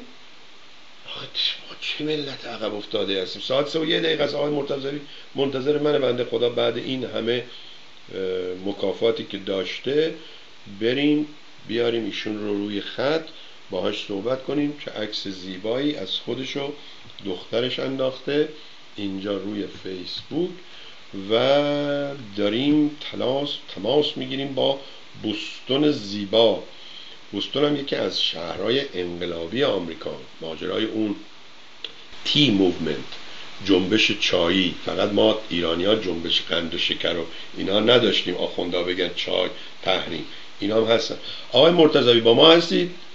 هستم در خدمتتون اجازه بدید این سر صدایی که پشت سرمه خاموشش کردم. آره. آقای مرتضوی چون برنامه شما همیشه با جوک و لطیفه و دلچسب بوده بذارید اینو براتون بگم. یه دفعه زنگ زدم به یکی از دوستان که برنامه شروع کنیم. دیدم که ایشون داشته برنامه رو نگاه می‌کرده. بعد به من گفت که آقای سربی اجازه بده اینو خفش کنم بیام سراغت. گفتم آقا این که خود منم صدای منم اونجا داره پخش میشه. درصد ممنونم. دوستان عزیز آقای جلیل مرتضوی کسی که من بارها ازش تعریف کردم کسی که بعدا ازش به اصطلاح انتقاد کردم. به نظر خودم هم انتقادم درست بود و با هم قهر کردیم و اینها ولی من پوست کلفتم من از کسی قهر نمی کنم توی ایران توی شیراز ما باور داشتیم دوستانی که با هم دعوا می‌کنن بعدا دوستان بهتری می‌تونن برای هم باشن. چون اینا دیگه حالا حد و مرز همدیگه رو می‌شناسن. می‌دونن که آقا این کجا ناراحت میشه؟ اون کجا به اصطلاح نباید جوک فلان بگیم و اینها. خب آقای مرتضوی اولا ویدیو نداری هیچ اشکال نداره. من همین عکس زیبای خودتو دختر چیز چی میگم واقعا جذاب رو می‌ذارم و این اسم کتابت هم هست What I Learned and Love About This Country. نه اسم کتاب هست The Mystery of America. Oh, yeah, yeah. ساب تایتلش هست What I Learned and Love About This Country. آها OK OK. یادم میاد یک کتاب ساده ای شما نوشته بودید که من اونو توی یکی از این صحبت های برای دانشگاه جورج میسونم برای بچه های چیز گفتم که ما وقتی میایم اینجوری اون کتابم با هم بود. گفتم مثلا این دوستمون راجع به ماشین های بزرگ شما ساندویچ خوردنتون و اینا صحبت کرده. من ساکت میشم میکروفون رو در اختیار شما می‌ذارم. شما برای من و دوستان بگو که اولا این شوق و ذوق کتاب نوشتن از کجا شروع شد؟ بعد با همه این محدودیت هایی که شما دارین چرا هنوز کتاب می‌نویسی؟ تو جامعه ای که همه می‌دونیم کتاب خون کمه. البته کاری که شما انجام می‌دید کتاب رو به انگلیسی می‌نویسید که این هم خودش یه نوع به اصطلاح زرنگیه. چون می‌دونید اقلا با انگلیس آمریکایی کار کردن یکم شانس بیشتری دارید برای اینکه کتاباتون این ور منتشر بشه و پخش بشه. بفرمایید با شما هست ممنونم از توجه شما آقای سوربی و بسیارم سپاسگزارم از دعوت شما به مردم تیوی ببین آقای سوربی من دیروز تکرار برنامه جمعه شما را شنیدم یه سری صحبت هایی کردی که فقط می‌خوام برای دوستای توضیح بدم که متوجه بشن که از روی سهلنکاری و یا بیادبی نبود که نتونم تو برنامه شما شرکت کنم. و آن این بود که من این برنامه های TV یا به طور کلی کار کردم با کامپیوتر برای من دشواره مگر اینکه این software من که صفحه همون screen رو برای من می‌خونه اون دچار اشکال شده بود با اسکایپ. حالا توضیح میدم چون یکی از دوستا یه ایمیل برای شما فرستاد بود گفته بود اینکه کاری نداره اسکایپ رو دانلود کنه بعد تمام بشه بره. آقای فرخ فرستاده بود بله. جان؟ آقای فرخ سپرار فرستاده بود بله. آره آره آقای فرخ خان ببینید برای اونایی که با دید کار می‌کنن من چشمم نمی‌بینه دیگه. من screen دیگه اصلا نمی‌تونم. الان خیلی وقته. من یک software ی دارم که screen رو برای من می‌خونه. این تکنولوژی اسمش از جاز. بله. JAWS for Window هرچی شما تو صفحه می‌بینید یا اسکایپ بخوام دنبال اسم شما بگردم این software م اگر کار نکنه واقعا از کامپیوتر نمی‌تونم استفاده کنم چون نمی‌بینم چی میگذره. و به همین خاطر ببین این software م خیلی گرونه. برای دوستایی که شاید برای اولین بار اینو میشنون یادم صفر داشت اینو کار می‌کرد. با شما هم در تماس بود و اینا. آقا صفر داد صفر بله بله. درسته. خیلی بله. هم مرد با سفر یعنی واقعا استاده در این کار. خودش می‌دونی که آیتی سفر فوق العاده کارش خوبه. آره با منم مرتب مدتی ازش خبر ندارم. آره با منم همیشه در مورد تکنولوژی جدید در تماس بود. حالا به یه توضیح کوتاه بدم آقای سوربی از برای همینجا آقای مرتضوی اجازه بده من یه چیزی بگم راجع به سفری که شما چندین سال پیش داشتید توی واشنگتن. و بعد گفته بودید که من رفتم واشنگتن یه دیداری هم داشتم با داور. بعد دوستان گفتن آقا اگر این آقا میگه من نابینا هستم چرا اینجا میگه من دیداری داشتم با داور؟ گفتم بابا جون پس چی بگه؟ بگه رفتم اونجا دست مالیدم به صورتش. خب این داره کلماتی رو استفاده می‌کنه که من شما می‌فهمیم. من وقتی شما براتون نوشتم که آقا اون وقتا شما هایتک بودی الان چی شده؟ به شوخی نوشتم. حتی شما زن گرفتی و بچه دار شدی تنبل شدی. شما برای من نوشتی. من همون روز یادم افتاد که این برنامه JAWS یا اونایی که به اصطلاح کار می‌کنن اینا همیشه با همه دستگاه ها نمی‌تونن. مخصوصا که الان Micros چیز اسکایپ. باور کنید برای خود من امروز نوشته سوربی version 7 یه چند روز دیگه از کار میفته یعنی ما هی مقاومت می‌کنیم که اینا رو آپ نکنیم که بالاخره پیر هستیم بلد نیستیم کار نمی‌کنن با هم دیگه. ولی به یه جایی می‌رسه که به قول شما دیگه اینا نمی‌ذارن. و من از, از این بابت از شما عذر می‌خوام. چون اگه من اینو نگفته بودم بعد دوستانم به خودشون اجازه نمی‌دادن که اونجوری بگن و شرایط شما رو نمی‌دونستن. ولی من که می‌دونستم نباید اینو می‌گفتم. نه نه اتفاقا می‌خوام که برای دوستا توضیح بدم چون من نمی‌خوام که اونها نسبت به من از ورژن دیگری استفاده کنن در صحبتهاشون هیچ ایرادی نمی‌بینم. ولی برای اینکه اطلاعاتشون بره بالا دارم صحبتشون می‌کنم. اونها درست نوشتن. برای اینکه شما وقتی نمی‌دونید چی میگذره با روش خودت میری جلو. مثل این میمونه که مثلا من سه تا ماشین درجه یک number one در اختیار شما گذاشتم. ولی کلید هیچ کدومشون رو بهت ندادم. همه میگم بابا سه تا ماشین جلوی خونتون سوربی چطور تو نتونستی بری جایی؟ میگه والا سویچ ندارم. مال منم این سویچ قاطی شده بود و این اسکایپ هم که تغییر کرده من دیشب با یکی از دوستا تو فلوریدا که خیلی به این کار وارده با اون خلاصه صحبت کردم بالاخره مسئله حل شد. منظورم از گفتن همه این صحبت ها که سر دوستا رو درد نمی‌خوام بیارم این screen reader یعنی همین جهازی که این صفحه رو می‌خونه و این جهازی که اسکایپ رو کنترل می‌کنه به من میگه الان آقای سوربی آنلاینه یا نه اینها رو دونه دونه از همین طریقه و من اینو قاطی کرده بودم اسکایپ یعنی چیز version جدید خلاصه خیلی مکافات دارم با این. حالا صحبت کوتاه کنم. یک چیز دیگه هم که اون دوستایی که میگم من رفتم با فلانی دیدار داشتم اون به معنای کلاسیک هستش. من نمی‌تونم version ها رو عوض کنم. من ممکنه بگم بگم فلانی من الان تو تلویزیون آقای ترامپ دیدم این سخنرانی کرد technically منظور من نیستش که من آقای ترامپ دیدم. فقط برای من اون چیزی که بود کلامی که پرزیدنت ترامپ گفته بود که خیلی از دوستایی که میشینن آقای ترامپ تماشا می‌کنن نمی‌فهمن این چی میگه. می‌دونید چون بله. با واژه ها آشنا نیستن. بسیاری از دوستای ما در رسانه ها کالیفرنیا به ویژه اینها خیلی چیزا رو می‌بینن میشنون تماشا می‌کنن ولی نمی‌دونن چون زبان نمی‌دونن. تقصیر اونها نیست. شما به وقتی به زبان انگلیسی آشنا نیستید در سطح صحبت هایی که میشه یه دفعه می‌بینم که آقا یارو یه چیزی رو عوضی اومد گفت چون یه نفر بینا گفته بود. من وقتی زنگ می‌زنم یواشکی میگم فلانی حرفی که ترامپ زد اینه. خب شما می‌تونی اینو بگی بعد بخوای راجع بهش تفسیر کنی فلان اون دیگه تفسیر اشکالی هم نه ولی اینکه شما هنوز حرف ایشون رو درست نگفتید.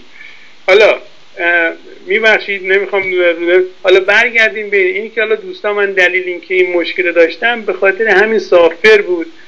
و من این سافر نباشی کارم سخت دیگه.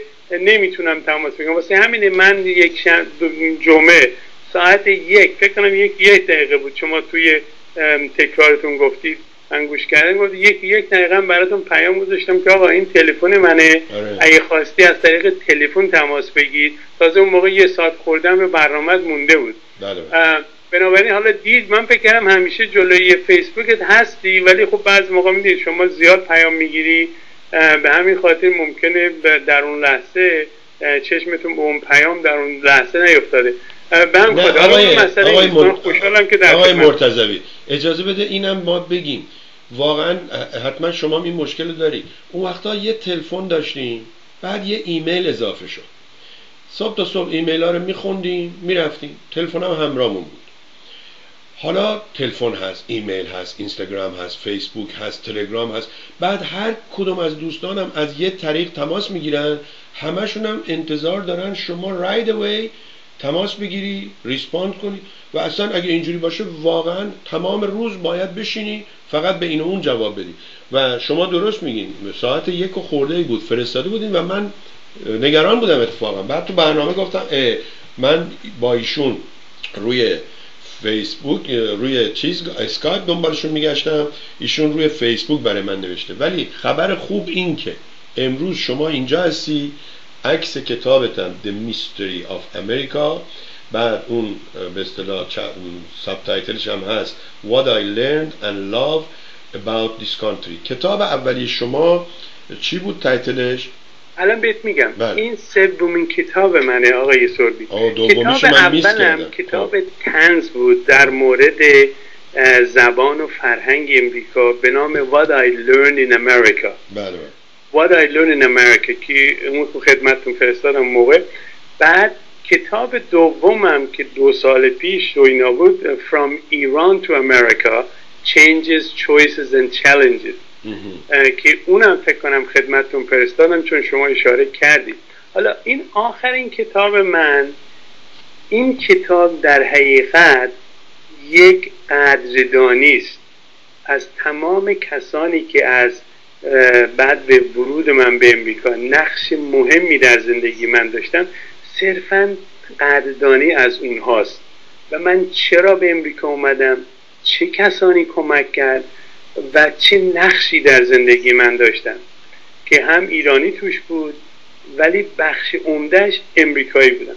حالا توضیح کوتاه بدم که بدونن که من چرا این کتاب نوشتم.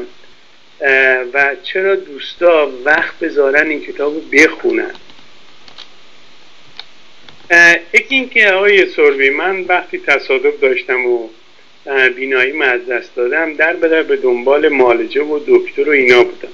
در ایران هم پیش چند دکتر رفتم. یه پزشکی از آلمان اومده بود و سالها در آلمان جراح چشم بوده. خیلی هم معروف بود اون موقع در تهران.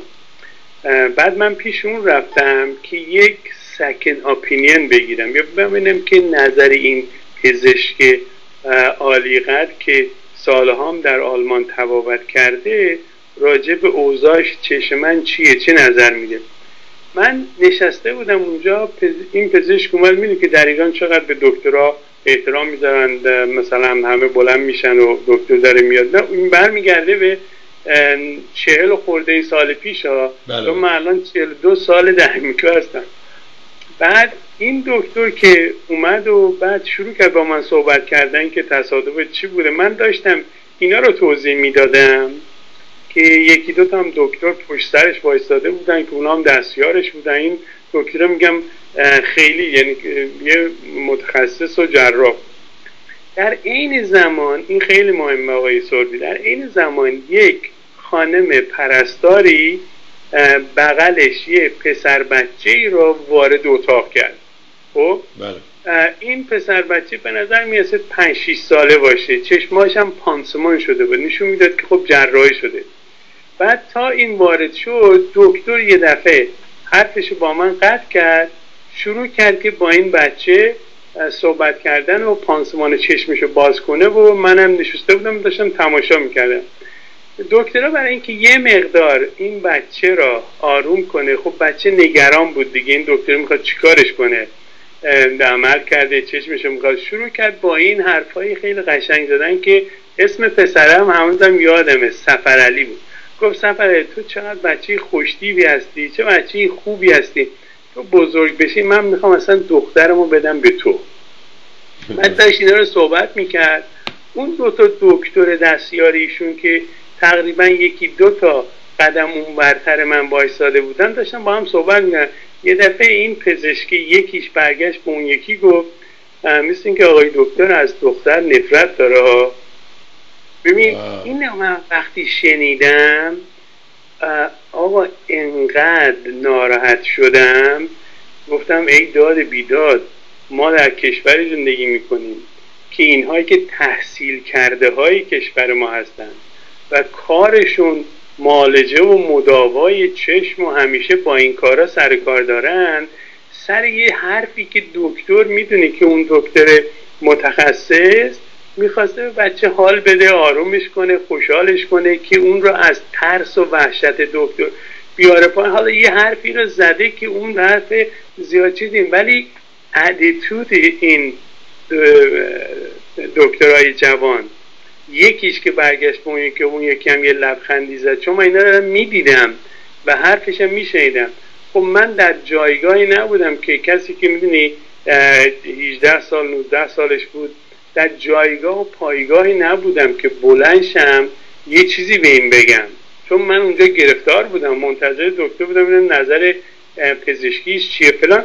بعد اونجا گفتم که من فکر می‌کنم بهتری که هر چه زودتر برای مالجه چشمم برم خارج مالجه کنم چشمم درست بشه برگردم. با این وضعیت اصلا اگر من چشمم درست نشه که اصلا به درد اینجا نمی‌خورم.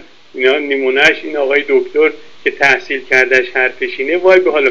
اون روی من انقدر اثر گذاشت که من رفتم یه پزشک دیگری پیدا کردم که تحصیل کرده امریکا بود و ایشون گفتش که به نظر من شما برید یک بیمارستان خیلی معروفیه. من اصلا اون موقع در مورد امریکا هیچی نمی‌دونستم. دو تا چیز بیشتر نمی‌دونستم. یکی از زمان قدیم همین ها آپلو نمی‌دونم نه و فلان به ماه رفتنشون. یکی هم مسئله واترگیت چون اخبار رو دنبال می‌کنم غیر از اون از امریکا چیز دیگه نمی‌دونستم. همین. بعد این گفت آره شما بهتری که بفرستم برو باستون. اونجا یه بیمارستانی هستی نظر دانشگاه هاروارد. اونجا می‌تونن روی چشمشو عمل کنن چون اونا بهترینن. بعد فقط من اینو اومدم بعدا با دوستای دیگه در میان گذاشتم. اونا گفتن شاید تو اشتباه می‌کنی. منظورش هوستون ما باستون نشنیدیم. میگم حتی اون دوربری های ما راجع به هوستون اینا اونا تحصیل کرده بودن به گفتن شاید منظورش هوستونه. بعد یک کاغذ به نگاه کردیم. نه بابا همین بوستونه خب اون موقع بوستون چیزی ناشنا بود. خلاصه من رفتم سفارت. ویزا گرفتم بعد اومدم تو امریکا. آقای سربی اگه سوالی داری یا ادامه بدم؟ نه فقط من هیچ وقت از شما نپرسیده بودم که راجع به این تصادف که الان گفتید شما تصادف ماشین و این چیزا بوده که شما نابینا شدین؟ دقیقا. بله. تصادف ماشین. بعد بله. چون یه دفعه یادم میاد شما رفته بودید شهر اونجا گم شده بودید یکم نگران شده بود. اونا رو یادمه با شما مصاحبه آره اون تو کتاب دومم بود. بله درسته بله. اون بچگی بوده. بله. شاید مثلا پنج سالم بوده گم شده بودم. بله بله.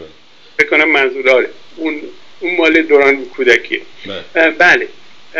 این ببخشید سوالتون رو تمام کردی یا ببخشید نه همون. من می‌خواستم ببینم تصادفی که شما گفتید منظورتون چون بعضی وقتا بیماری مثلا یکی یه بیماری می‌شد آبله و اینا می‌گفتن زده به چشمش چیز شده نابینا شده و اینا. و شما اون آخرایی که من با هم صحبت می‌کردیم از لحاظ بینایی legally blind هستید ولی یه مقداری می‌تونستید از نزدیک ببینید اینا ولی الان میگید اونم چیزتر شده. یک آقای دکتر ایرانی به خاطر مادر بزرگش که نابینا شده بود یه چیزی درست کرده بود تو چشم می‌ذاره یه چیپسی اونو شما اطلاع دارید خبر دارید که میگن مثل چشم کار می‌کنه و اینها. البته احتمالا شما این خبرها رو بیشتر از من دنبال می‌کنین و زودتر به اصطلاح دنبالش هستید. ولی خب بعضی وقتا آدم بگه بهتره که یه آقای دکتری اوباما هم بهش جایزه داد. نمی‌دونم شما می‌دونید یا نه. بله. اون اونو من خبر دارم. اتفاقا یکی از مهمترین جراحی که در دنیا انجام گرفته تا الان می‌گفتن نمیشه مسئله شبکی است رتین همین مشکلی که من دارم. بله. این پیوند شبکیه چون شبکیه وصل به پشت چشم و مغز و اینا. این پیوند شبکیه در شیراز شما انجام شد هفتش ماه پیش. اون ویدیو رو من نشون دادم. بله. آه نشون دادی آفرین. بله. اون ممکنه روی دو سه نفر تا حال انجام شده. هزینه ها خیلی بالاست فعلا. خب پس حالا شما من... می‌خوای بری شیراز باید بیای ویزا از من بگیری یا؟ دقیقا همینه میگم. میگم ما قلم به بچه ها گفتم ما اگه بریم شیراز مشکل نیست. نظر ویزا. ممکنه برگشتنی به امریکا مشکل باشه. برای رفتنمون بخور امیدوارم که هم بری شیراز هم به اصطلاح جراحی انجام بشه درست بشه بینایی کامل و اینها. خب بیاین راجع به این کتاب صحبت کنیم. خب کتاب قبلی اولی که من خوندم اون موقع بود زمان جورج بوش اگه اشتباه نکنم. دقیقا همینطور. بله. بعد یه عده انتقاد کردن که شما چرا این همه تعریف می‌کنی از آمریکایی ها و انتقاد نمی‌کنی؟ میگم آقا وقتی بهش لطف کردن من حتی یادمه یه خانواده ای به اصطلاح شما رو ازتون پذیرایی کرده بود نگهداری کرده بود اینا خب بیاد چی بگه؟ بله درسته که اینجا انتقاد آزاده ولی قرار نیست اگه یه جایی رفت یه نفر مهمونی بهش خوش گذشت بعد بیاد همینجوری بیخود انتقاد کنه و بد و بیرا بگه. این کتاب دومی چرا اسمش رو گذاشتید؟ The Mystery of America. البته نمی‌خوام همه کتاب شما به قول معروف بگید ولی چرا اسمش راز هست؟ دقیقا. بله. حالا میگم چرا. اولا که آقای صوبی خوب شد که این سوال شما کردید. یعنی شما سوالاتون خیلی خوبه چون آدم باعث میشه اون چیزایی که تو ذهنشه دیگه یادش نره و بگه. این کتاب رو من اسمشو گذاشتم The Mystery of America. اینها رازهایی هست در امریکا که خیلی ممکنه راجع بهش ندونن. اتفاقا آقای سوربی version همین کتاب من اسمشو گذاشتم چهل راز از چهل سال زندگی در امریکا. یه سال و خورده ای طول کشید تا وزارت ارشاد بهش اجازه چاپ بده.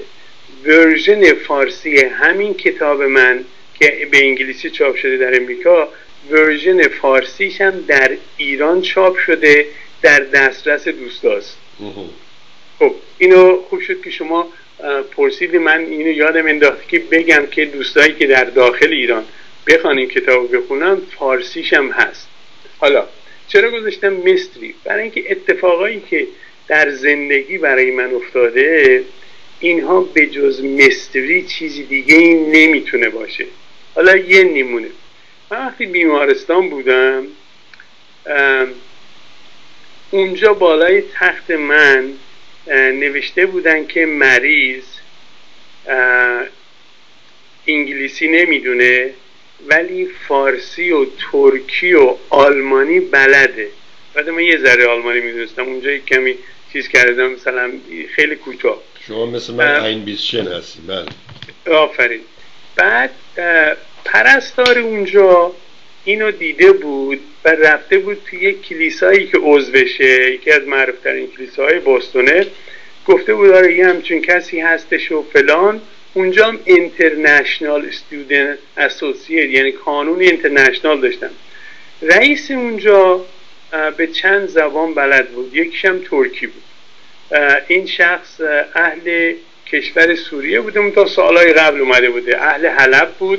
مسیحی بود تا ترکی هم می‌دونه ترکی عربی نه بعد ایشون اومد بیمارستان به دیدن من.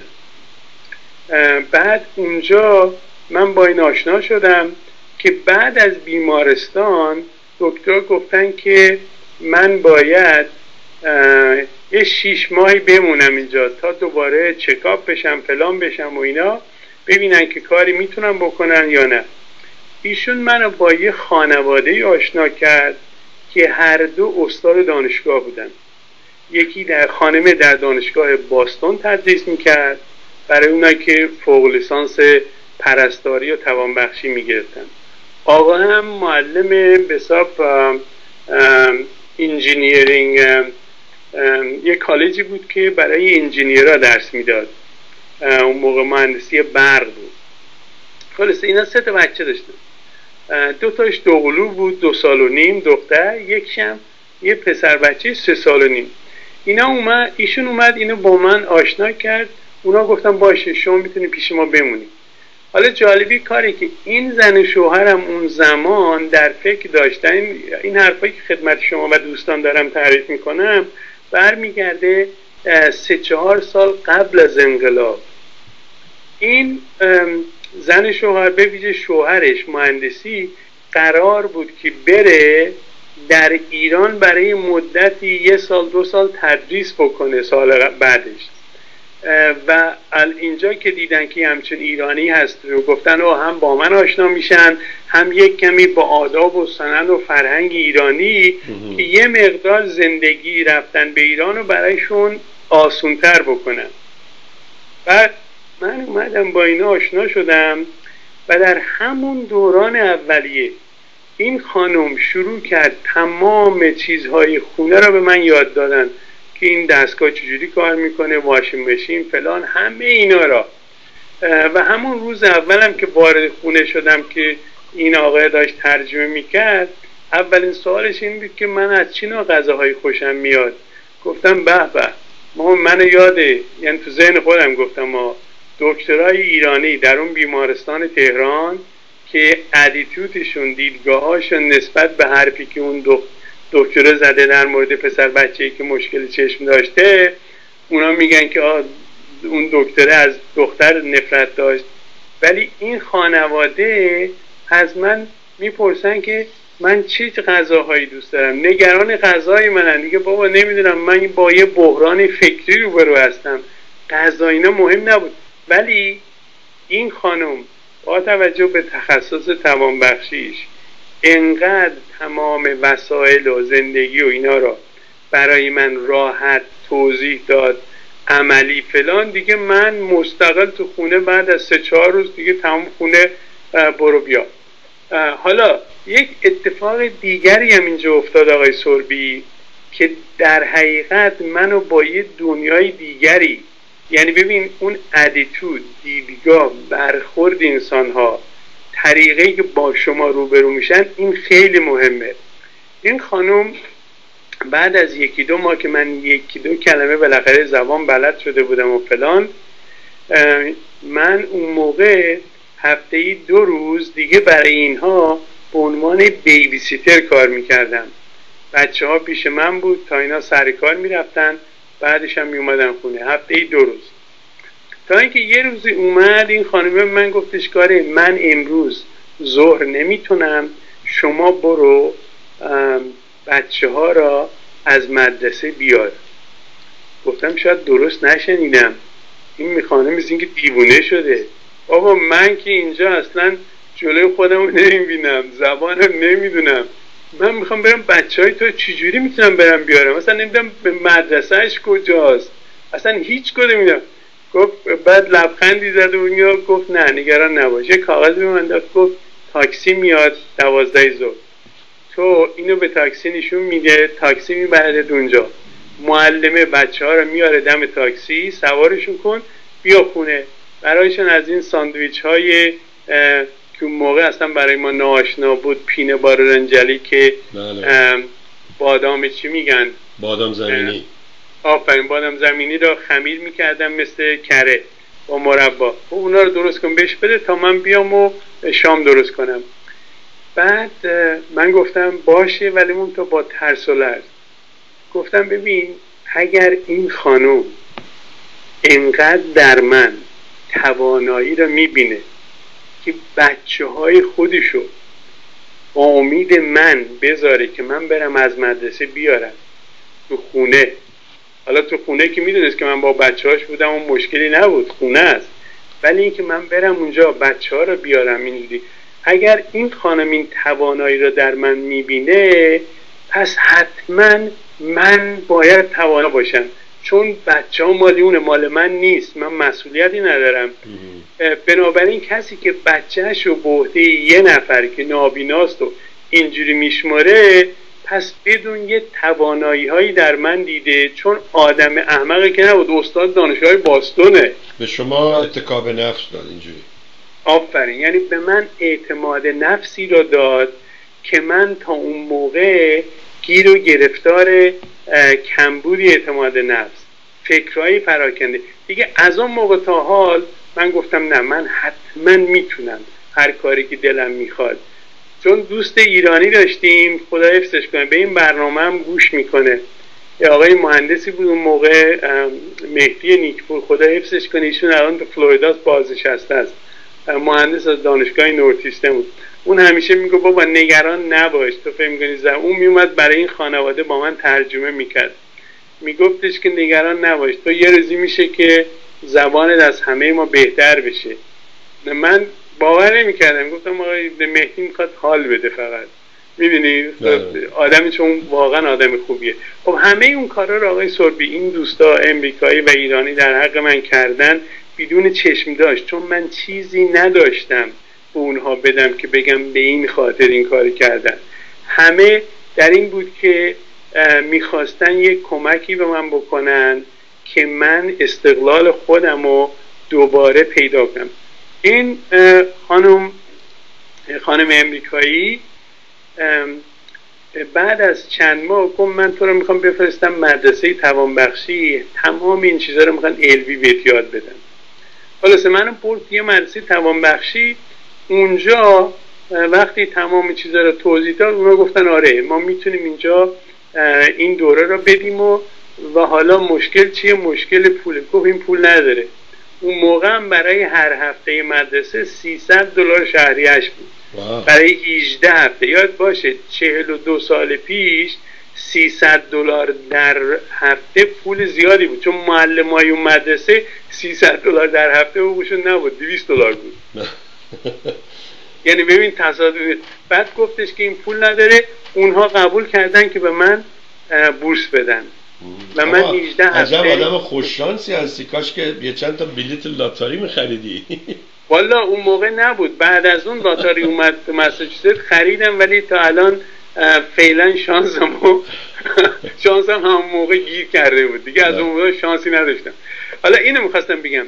هر موقع که این خانم این کارا رو برای من می‌کرد منو یاد اون دکتره مینداخت در تهران. گفتم ببین ادیتوت اونها دیدگاه اونها فکر اونها اون بود. برخوردش ایرانی هن.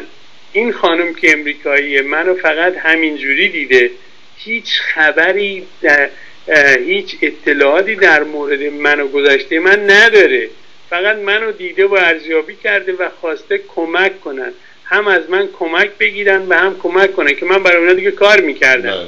یعنی منظور من از گفتن اینها این باعث شد که آقای سربی برگردم به سوال اولیه شما دلیل اصلی که این کتاب رو نوشتم Mystery of America این بود که فقط قدردانی بکنم از اونهایی که در اون دوران بحران بدون هیچ چشم داشت هم به کمک من اومدن هم به من یاد دادن هم باعث شدن که من مستقل کارامو انجام بدم.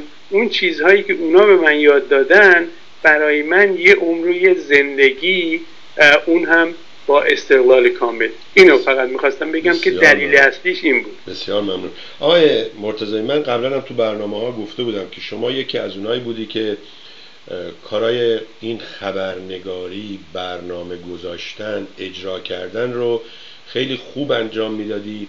البته خب طبق معمول مورد اتهام و توهین و اینها قرار گرفته بودی. همین که الان شما میگی من کتاب تو ایران چاپ کردم فوری همه می‌خوان بگن همه که نه اون ای که معمولا اینجوری آه این کتاب با ایران چاپ شده حتما رابطه داره ضمن که خودتون میگی یک سال و نیم طول کشیده تا یک کتابی که چهل سال چهل تا راز دارم یه چیز ساده از زندگی میگم. برنامه های تلویزیونی شما داشتید. چی شد و چرا به اصطلاح دیگه نداری؟ اتفاقا آقای سربی این سوال اولیتون در مورد ایده میگن که چرا در ایران حتما چاپ شده فلان فوق العاده مهمه. اینو توضیح بدم چرا یه سال این طول کشید. اولا این کتاب سیاسی نیست. این کتاب بیشتر تعریف از امریکاست. ممتها در داخل این کتاب یه سری چیزهایی بود. مثلا فرض کنید میگه من وارد بیمارستان شدم. یه خانم پرستاری اومد منو بغل کرد. گفتم باید این واژه ها عوض بشه. یعنی نمی‌تونید کتابی فارسی بگی این خانم اومد منو بغل کرد. می‌دونی؟ بله، بله. البته بغل کردن اون خانم چل یکی دو سال پیش برای من اصلا یه چیزی جدید بود دیگه. چون هیچ خانمی ما را تا اون موقعی که نشناختی که بغل نمی‌کرد. مگه اینکه فامیل بودی. بله. تازه اون خانم ها بغل نمی‌کردن. بله. آفرین.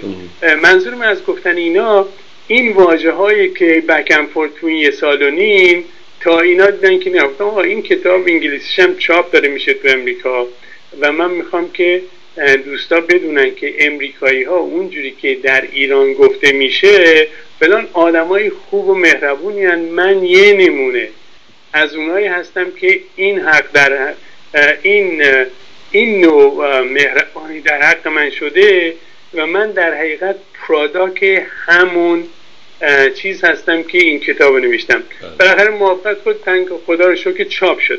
منظورم از گفتن حالا دوستان ممکنه بعضی ها ایراد بگیرم فلان ولی باید کتاب رو بخونن هر ایرادی بگیرم بعد از خوندن کتاب اشکال من نمیدم چون من هیچ وقت انتظار ندارم که همه از این کتاب خوششون بیاد اتفاقا تو همین فیسبوک و ایمیل ها و چیزهایی که من از قدیم داشتم که برای همین میفرستم آخرین آمار از فروش این کتاب خدمتتون میگم. تا الان در حدود 300 و مثل اینکه 29 تا چون بعد از اون که تو فیسبوک اون عدد دارم یه ده 15 تا بیشتر فروش رفته.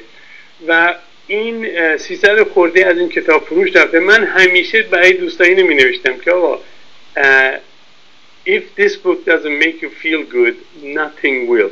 این یکیه. دوم این که آقا اگر به هر دلیلی آره از این کتاب ناراضی هستی من پول اصلا بفرست من خودم از تو می‌خرم پولتون پس میدم. بله. ولی تا الان خوشحالم که خدمتتون بگم این در میان دوستای امریکایی من استاد دانشگاه می‌شناسم.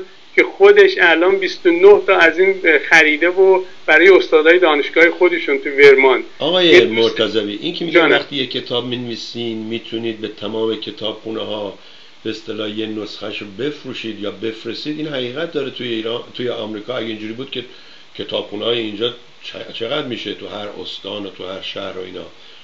یا یک کتاب نه, اون درست نیست ببین آقای تمام کتاب هایی که در امریکا چاپ میشه و کد نامبر بهت میدن. البته می‌دونی هر کسی می‌تونه کتاب چاپ کنه و فلانش مسئله نیست. یعنی آزادی کامل هست. بله. مثل ایران نیستش که یک سال و نیم طول بکشه تا بری وزارت ارشاد فلان بساد اونا بخونن بعد بگن میشه نمیشه. ای بک ولی از این خبرها نیست داره میگه. هر کسی می‌تونه. حالا این کد نامبر اینا که بهت میدن چاپ میشه یه نمونه از این کتاب باید بره کتابخانه معروف کنگره بغل گوش شما. بله بله. اونجا هستش. درست؟ قبلا یه آقای ایرانی مسئولش بود. آفرین. آقای کریمپور کریمپور و دکتر هادی بله بله. آره هم خلا یه خدا. حفظش که مثل که آره. بازنشسته شده. فکر می‌کنم بله بله این نیست. یه نمونه میره برای کل کتابخونه به نام لایبرری کانگرس یعنی هر کتابی در امریکا چاپ بشه باید نمونهش برابر قانون اونجا باشه. بله. این قانونی. ولی اینکه کتاب شما را کتاب خونه های مختلف و شهرهای مختلف بخرن نه. شما تماس می‌گیری اگر خوششون اومد می‌خرن. اگر خوششون نیومد نمی‌خرن. اینی که به عنوان یه پروژه میدن به بچه ها و اینا چی؟ اونو می‌تونید به اصطلاح اونجوری پروموت کنید. مدرسه ها بدونید که کتاب ها رو به عنوان پروژه میدن بچه ها بخونن بعد بیان دربارهش صحبت کنن اینا آفرین باز هم اون خود کتابخونه تصمیم می‌گیره که آیا کتاب شما از نظر اونها این قابلیت رو داره که اونو بدن دست بچه ها یا نه بله اونا خب. تصمیم می‌گیرن. ولی اگر شما مثلا کتابخونه هایی که می‌شناسه مثلا الان جا سه چهار تا کتابخونه این کتاب خریدن و اونم به خاطر اینکه کسانی که عضو اون کتابخونه بودن از کتابخونه درخواست کردن این کار بکنن. دوستان امریکایی ما درخواست کردن که کتابخونه شهرشون این کتاب رو بخره بذاره تو کتابخونه باشه. این, این شکلی کار می‌کنیم. خب. ولی نه که همینطوری خودشون بخرن نه. بریم سراغ برنامه های رادیو تلویزیون. آه اتفاقا این برنامه های را تلویزیون که شما فرمودید من مدتی زیادی هست که برنامه تلویزیونی ندارم و دلیلش هم قبلا فکر کنم نوشته بودم نمی‌دونم. ما من یه برنامه داشتم به نام یو اس ایران تیوی. بله بله. که آقای حقو در کانادا سپانسرش بود. این برنامه 24 ساعته پخش می‌شد. و ما هم روزی یکی دو ساعت برنامه داشتیم و بعدش هم تکرار چیزای دیگه. تا اینکه این برنامه من یه مدت کوتاهی به خاطر اون کتاب همون یه سال نیم پیش دو سال پیش بود رفتم ایران کوتاه برگشتم. تمام اون چیزهایی که من گذاشته بودم تو یوتیوب و اینا همه این برنامه های من هک شده بود. پاک شده بود. حالا نمی‌خوام به قول معروف کسی رو اینجا مقصر بدم چون من که نمی‌دونم من به این چیزا اصلا وارد نیستم. بعد اون باعث شد که دیگه من اصلا این برنامه ها رو بذارم کنار. دل سرد گفتم بله. دل سرد بشم بعد این برنامه هم که من داشتم هفته 500 رو هزینه داشت چون ما live stream broadcasting داشتیم و فلان و اینا. و آقای حقگو به تنهایی واقعا این پول می‌داد و بعد گفتم آقا من دیگه از این کار میام بیرون اگه قرار باشه برنامه بذارم همون حرف می‌زنم و می‌ذارم تو یوتیوب و فلان. بله. بی خیال این برنامه ها ولی اون هک چون ما برنامه هایی داشتیم با سیامک زن اه، 130 40 هزار تا هد خورده بود. بله بله. این سیامک زن هم آقای سربی شما یه حرفی در موردش زده بودید نه ما این مشکلمون اون نبود که. ببین سیامک زند حرفی که زده بود در مورد آقای الان فراموش کردم اسمش حیدر رو. علی شعبازی آقای شهبازی. این آقای شهبازی را ایشون 15 سال تو دربار با هم کار می‌کردن. بله. چون آقای سیامک زن مسئول خبرنگارای بین‌المللی دربار بود دیگه هر کی از خارج بله میومد من چند بار با ایشون مصاحبه کردم صحبتاشون رو می‌دونم می‌شناسم. ولی. ولی 15 بار توی دربار بودن اون چیزی رو که بعدا این آقا تو آمریکا بوده. ببینید یعنی اون ماجرا که ایشون گفته بود اشتباه و غلط بود. هنوزم میگم غلط بود. اگه خواستید آقای سیامک زندم موجوده زنده است. داماد آقای به اصطلاح شهبازی اینجاست. پسرشون پسراشون اینجا هستن. دخترشون اینجا هست.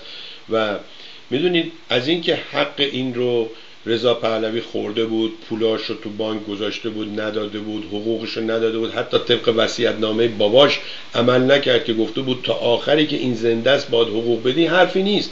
ولی از وقتی می‌خوایم ما مثلا رضا پهلوی رو آدم بد قول و بد چیزی دلیل نداره که این بنده خدایی که حالا که اون پولشو نداده بود یا آدمی که همه عمرش زحمت کشیده کار کرده بعد بیان بگیم با وضع خیلی بدی اون وقت اشتباه بگیم. طرف تو واشنگتن و ویرجینیا زندگی می‌کنه بگیم کالیفرنیاست. تو گستیشن کار کرده بگیم خیلی وضعش بود بعد این بود که من من منتظر بودم وقتی اینو گفتم هم خود آقای سیامک زن به عنوان یک خبرنگار. چون ایشون شغلش خبرنگاری بوده. به عنوان یک خبرنگار بگه من اشتباه کردم عذر می‌خوام تموم شد رفت. ولی بعد دیدم تازه حمله کردید. برای من مهم نیست چون همین برنامه دوشنبه هفته پیش ما آقای امیر حسین لادن که آدم پژوهشگر یه آدم محققی هست یه چیزی رو نقل قول کرد. منی که اصلا دیدید من خیلی بیخیال همینجوری میام صحبت می‌کنم. گفتم که آقا اصلا به عقل جور در نمیاد. 1400 سال پیش جمعیت ایران جمعیت اون شهری که اینا بودن نامه بنویسن به عربستان که آقا ما اینجا انقدر کتاب داریم اونا هم بگن خب ما شطور میفرستیم بار بزنید کتابا نمی‌دونم شنیدید یا نه. آره آره, آره بعد خودش آره خود ایشون گفت آقا اصلا اشتباه بوده. هم آره هم به اندیش کرده نوشته بود اینا. ولی اینا مهم نیست. مهم اینه که امروز که شما اومدی اینجا لاتاری منم برنده شده. خانم زینا تهرانی که یک کار خیلی قشنگی ایشون انجام داد مسابقه کرد با حمزه پور و گیرش انداخت. حمزه پور توی اون برنامه گفت که از عربستان می‌خواسته پول بگیره و خودش خیلی خوبه که نشون میده این عربا وقتی هم قول میدن عمل نمی‌کنن. آقای پرویز مینویی یکی از نویسنده های قدیمی یکی از فرهنگی های قدیمی میشه به عنوان معلم من. یه مدت هم در تلویزیون مردم برنامه داشتن. دقیقا اتفاقا تو تکساس بله. آره خیلی بله. امروز اومدن اینجا. این اینو من میگم که به اصطلاح آمدن شما امروز. حالا درسته که دو نوبت به اصطلاح اشکال داشتیم و خیلی خوشحالم این اشکال برطرف شده. امیدوارم در برنامه های آینده اگه خاصی بیان صحبت کنید حتی ویدیوتون هم داشته باشیم.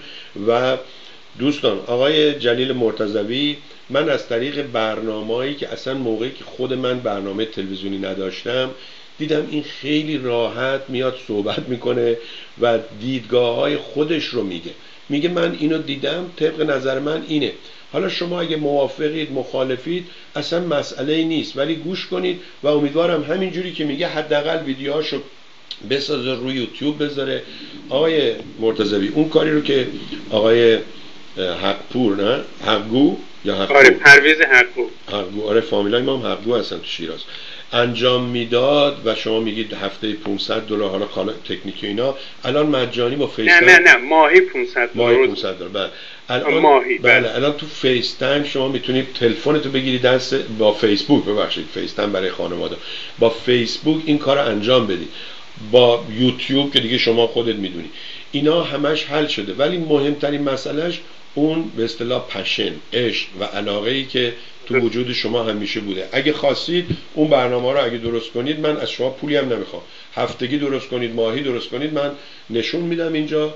امیدوارم دوستان حمایت کنن و خیلی خوشحالم که باز با شما صحبت کردم. من همیشه گفتم من از معمولا از کسی دلخور نمیشم چون زندگی اینقدر کوتاست که اوز چی میگن اینقدر سخته. اگه خودمون بر خودمون سختش کنیم که دیگه واقعا قابل تحمل نیست. خیلی خوشحالم که دعوت من قبول کردید. این یکی از علائم بزرگی شماست. خواهش می‌کنم آقای سر. منم ممنون و سپاسگزارم از مهر شما از اینکه دعوت کردید. در خدمتتون باشم. بسیار بسیار خوشحالم. اتفاقا آقای زوی تو برنامه رو با تنز شروع کردی. حالا اسم آقای حمزه پورم آوردی تنزترش کردی. می‌دونی که بهترین مصاحبه که با آقای حمزه پور انجام داد کی بود؟ نه. شهرام همایون آها اونی که هی می‌خواست ازش ببینی این از کجا پول بیاره بلکه اونم پول بگیره. اونم گفتم تو برنامه گفتم شهرام همایون استاد این کاره ولی مونده بود که با این جانور دیگه چه کار کنه. هر چی میگه واقعا یکی دو تا سوال کلیدی گرد و بله. خیلی خنده دار بود. گفت ببین آقا من خودم تو کار مسافرین هم هستم. آره. شما 45 روز به این برنامه مونده شما نه هتلتون می‌دونی کجاست. چون هتل حداقل شما دو سه ماه جلوتر باید جا رزرو کنی پول بدی فلان. تو چجوری می‌خوای ده هزار نفر بیاری؟ یعنی آقای, آقای مرتضوی همه این مسائل به کنار. اونایی که اینو باور کردن باید ازشون پرسید تو مغز اینا چی بود و اینا. البته من یه, یه چی بهتون میگم. یه مدتی بود این نیجریه ها است... می‌کردن تو اینترنت سو استفاده و اینها. آره آره آره. تلویزیون آمریکا نمی‌دونم ان بی سی بود چی بود آورد یه سری از این ویکتیم اینایی که بیچارهایی که مورد این سوء استفاده قرار گرفتن کردیت کارت و اینا باشون صحبت می‌کرد. یکیش یه آقای دکتری بود که خیلی هم گویا معروف بوده و اینها.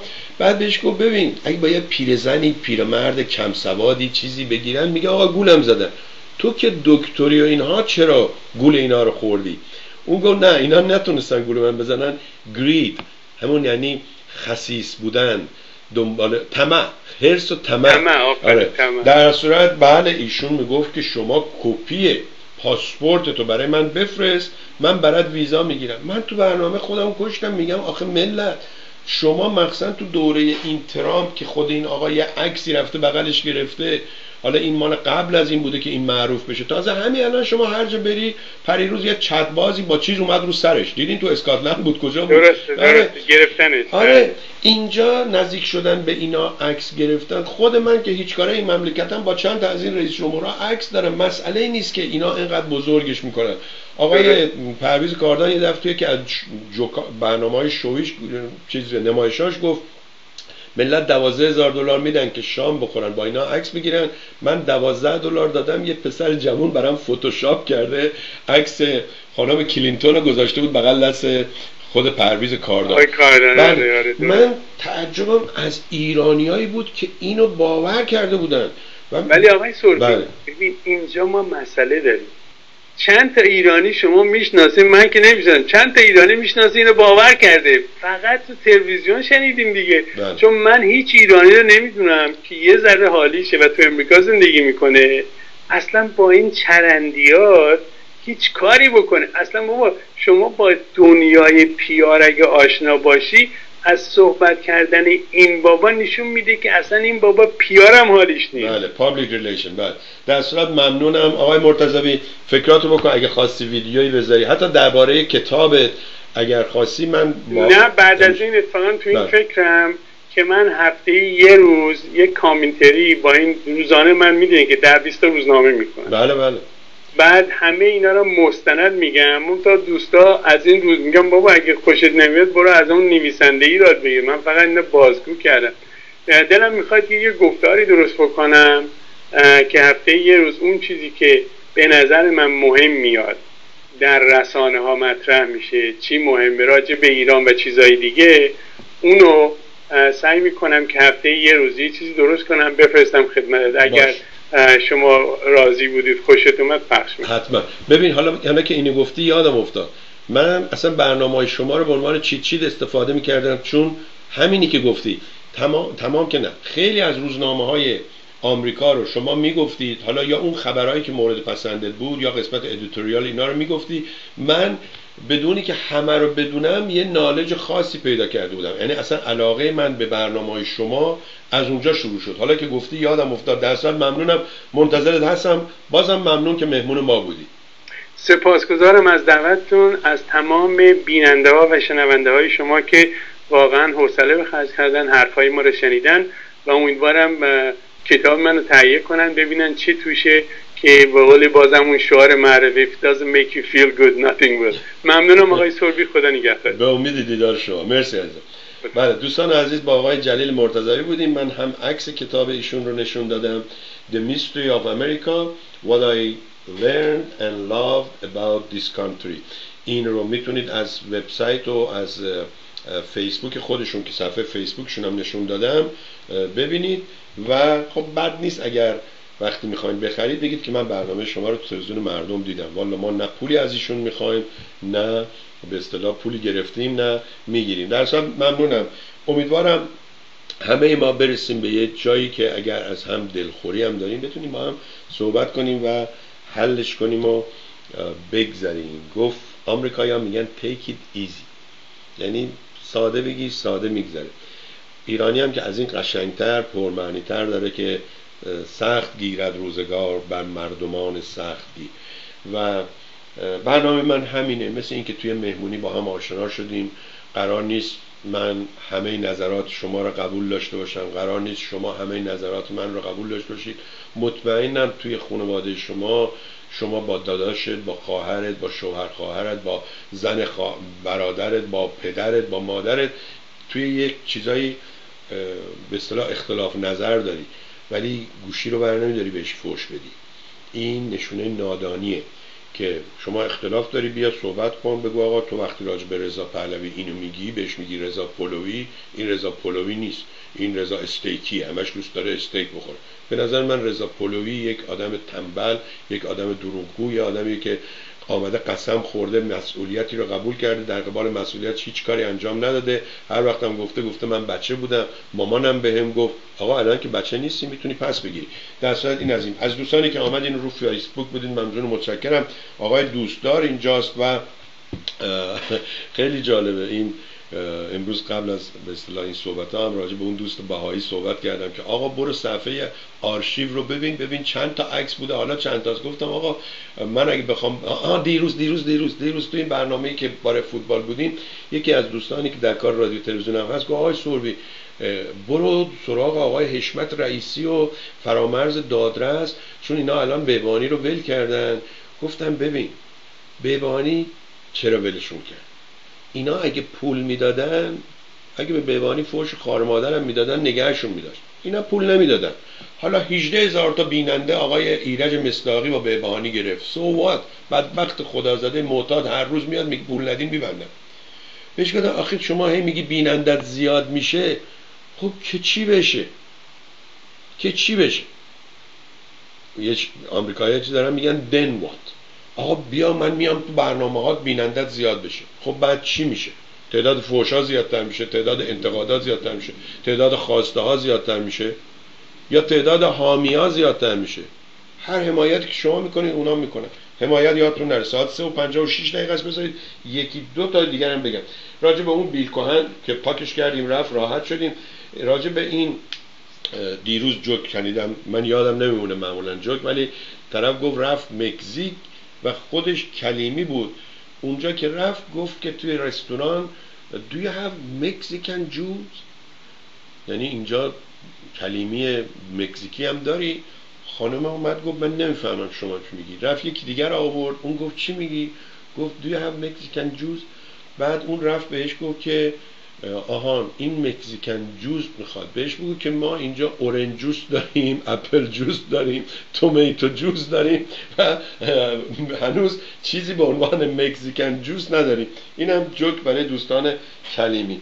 و اما ترامپ و ملکه باز این احمق با وجودی که من از سیستم انگلستان بدم میاد از اینکه یک گروهی مفتخور این پس از اون این پس از اون بیاد. ولی یه چیزایی دیگه الان وقتی جا افتاده باید اینا وقتی میرن اون به اصطلاح اتیکت پروتکل اون برنامه و اینا رو بدونه که مثلا این وایسه اونی که مهمون داره. شما آقا خونه دوستت میری در باز می‌کنه به شما میگی بفرمایید. شما میگی نه شما برو جلو. اون میره جلو شما میری. این گوساله رو نگاه کنید. ترامپ شالاتان راه افتاده با این هیکل قناس چاقش جلوی این ملکه کوچولو بعد این ملکه نمیدون از این ور بره از اون ور بره. ولی یک فیلمی رو همین دوستمون آقای خزایی برای من فرستاده و روی فیسبوک هم گذاشتم. بذارید اینم برای شما پخش کنیم به عنوان حسن ختام برنامه و بخندیم به این ترامپ و بخندیم به وضع آمریکا که از کجا اینم مثل سازمان مجاهدین واقعا از عرش به فرش رسیدن اینا. بذارید من این اسکایپ رو خاموش کنم. امروز این این okay. یکی از دوستان گفته که ما امروز برای شما حمایت ارسال می‌کنیم. ما میگیم ما امروز از شما ممنونیم. اینم ترامپ شالاتان نادان که چند روز پیشم تو همین مراسم ناتو و اینا آمد طرف بهش گفت آقا شما الان اینو میگی. سوار هواپیما که میشی یه چیز دیگه می‌زنی. گفت من هیچ وقت حرفمو عوض نمی‌کنم. باورتون میشه بیش از سه هزار تا تا حالا تو این 500 روز دروغ گفته. گفت من هیچ وقت حرفم عوض نمی‌کنم. من خیلی باهوشم. من اصلا نابغه هستم. I'm smart genius. هیچ آدم باهوشی به خودش نمیگه من باهوشم. هیچ آدم نابغه‌ای به خودش نمیگه من نابغه هستم. مگر احمق ها افرادی مثل حمزه پور افرادی مثل ترامپ و ببینیم این فیلم رو می‌تونیم اینجا نشون بدیم. تصویر اینجا نمی‌دونم چرا نمیاد روی این قسمت. الان آمد. برای این اسکایپ نمیذاشت تو برنامه. مجبور بودم اکسا رو بکشم ببرم اونجا. تو برنامه آقای نه الان هم نمی‌ذاره. بذارید ببینم می‌تونم این ویدیو رو بیارم اونجا. بله حالا که این نمیاد میگن اگه بار سنگینه به اصطلاح اولاغ رو ببر نزدیک بار یا حالا ما این ترامپ رو میاریم ببینیم می‌تونید شما ببینید. این هر کی ببینید درست کرده خیلی با مزه درست شده و قشنگ این رو هم با هم ببینیم و ترامپ. چی عجب آمدین بالاخره. بیا بیا. مواظب باشین این پلر پاتان لیز نخوره بعد بگم درستش کنه. سلام. سلام علیکم هر شما خوبه سلام. خوبه سلام. علیکم خوب هستی ببخشین دیگه مثل که خیلی معطل شدن اینجا. بله یک ده دقیقه هست اینجا منتظر شما یه ما وای به چهار بردم خانه خالش هم گفتیم اینجا باز به هم میفتن سر صدا می‌کنن دیر شد دیگه خوب کاری ببخشید. کردن اشکال نداره. حالا بیاین یه عکس بگیرم باز باشه. بفرم بفرم بفرم چت اینا رو. کی ریخته اینا رو به چه بازی که. دندیختن دیگه اشکال نداریم اینم فیسبوک لعنتی. هی میپره بالا میپره پایین یه چی دیگر رو میاره. ولش کنید در اصل روی فیسبوک هست. سعی می‌کنم بعدا براتون بیارم روی اینم نشون بدم. برنامه ما همین بود. ممنونم که با تلویزیون مردم بودید. سروبی با مردم. شما هم می‌تونید با مردم صحبت کنید. از مردم با مردم برای مردم. و با حمایت مردم. روز روزگارتون خوش و برنامه ها رو پی می‌گیریم. مرسی که با ما بودید.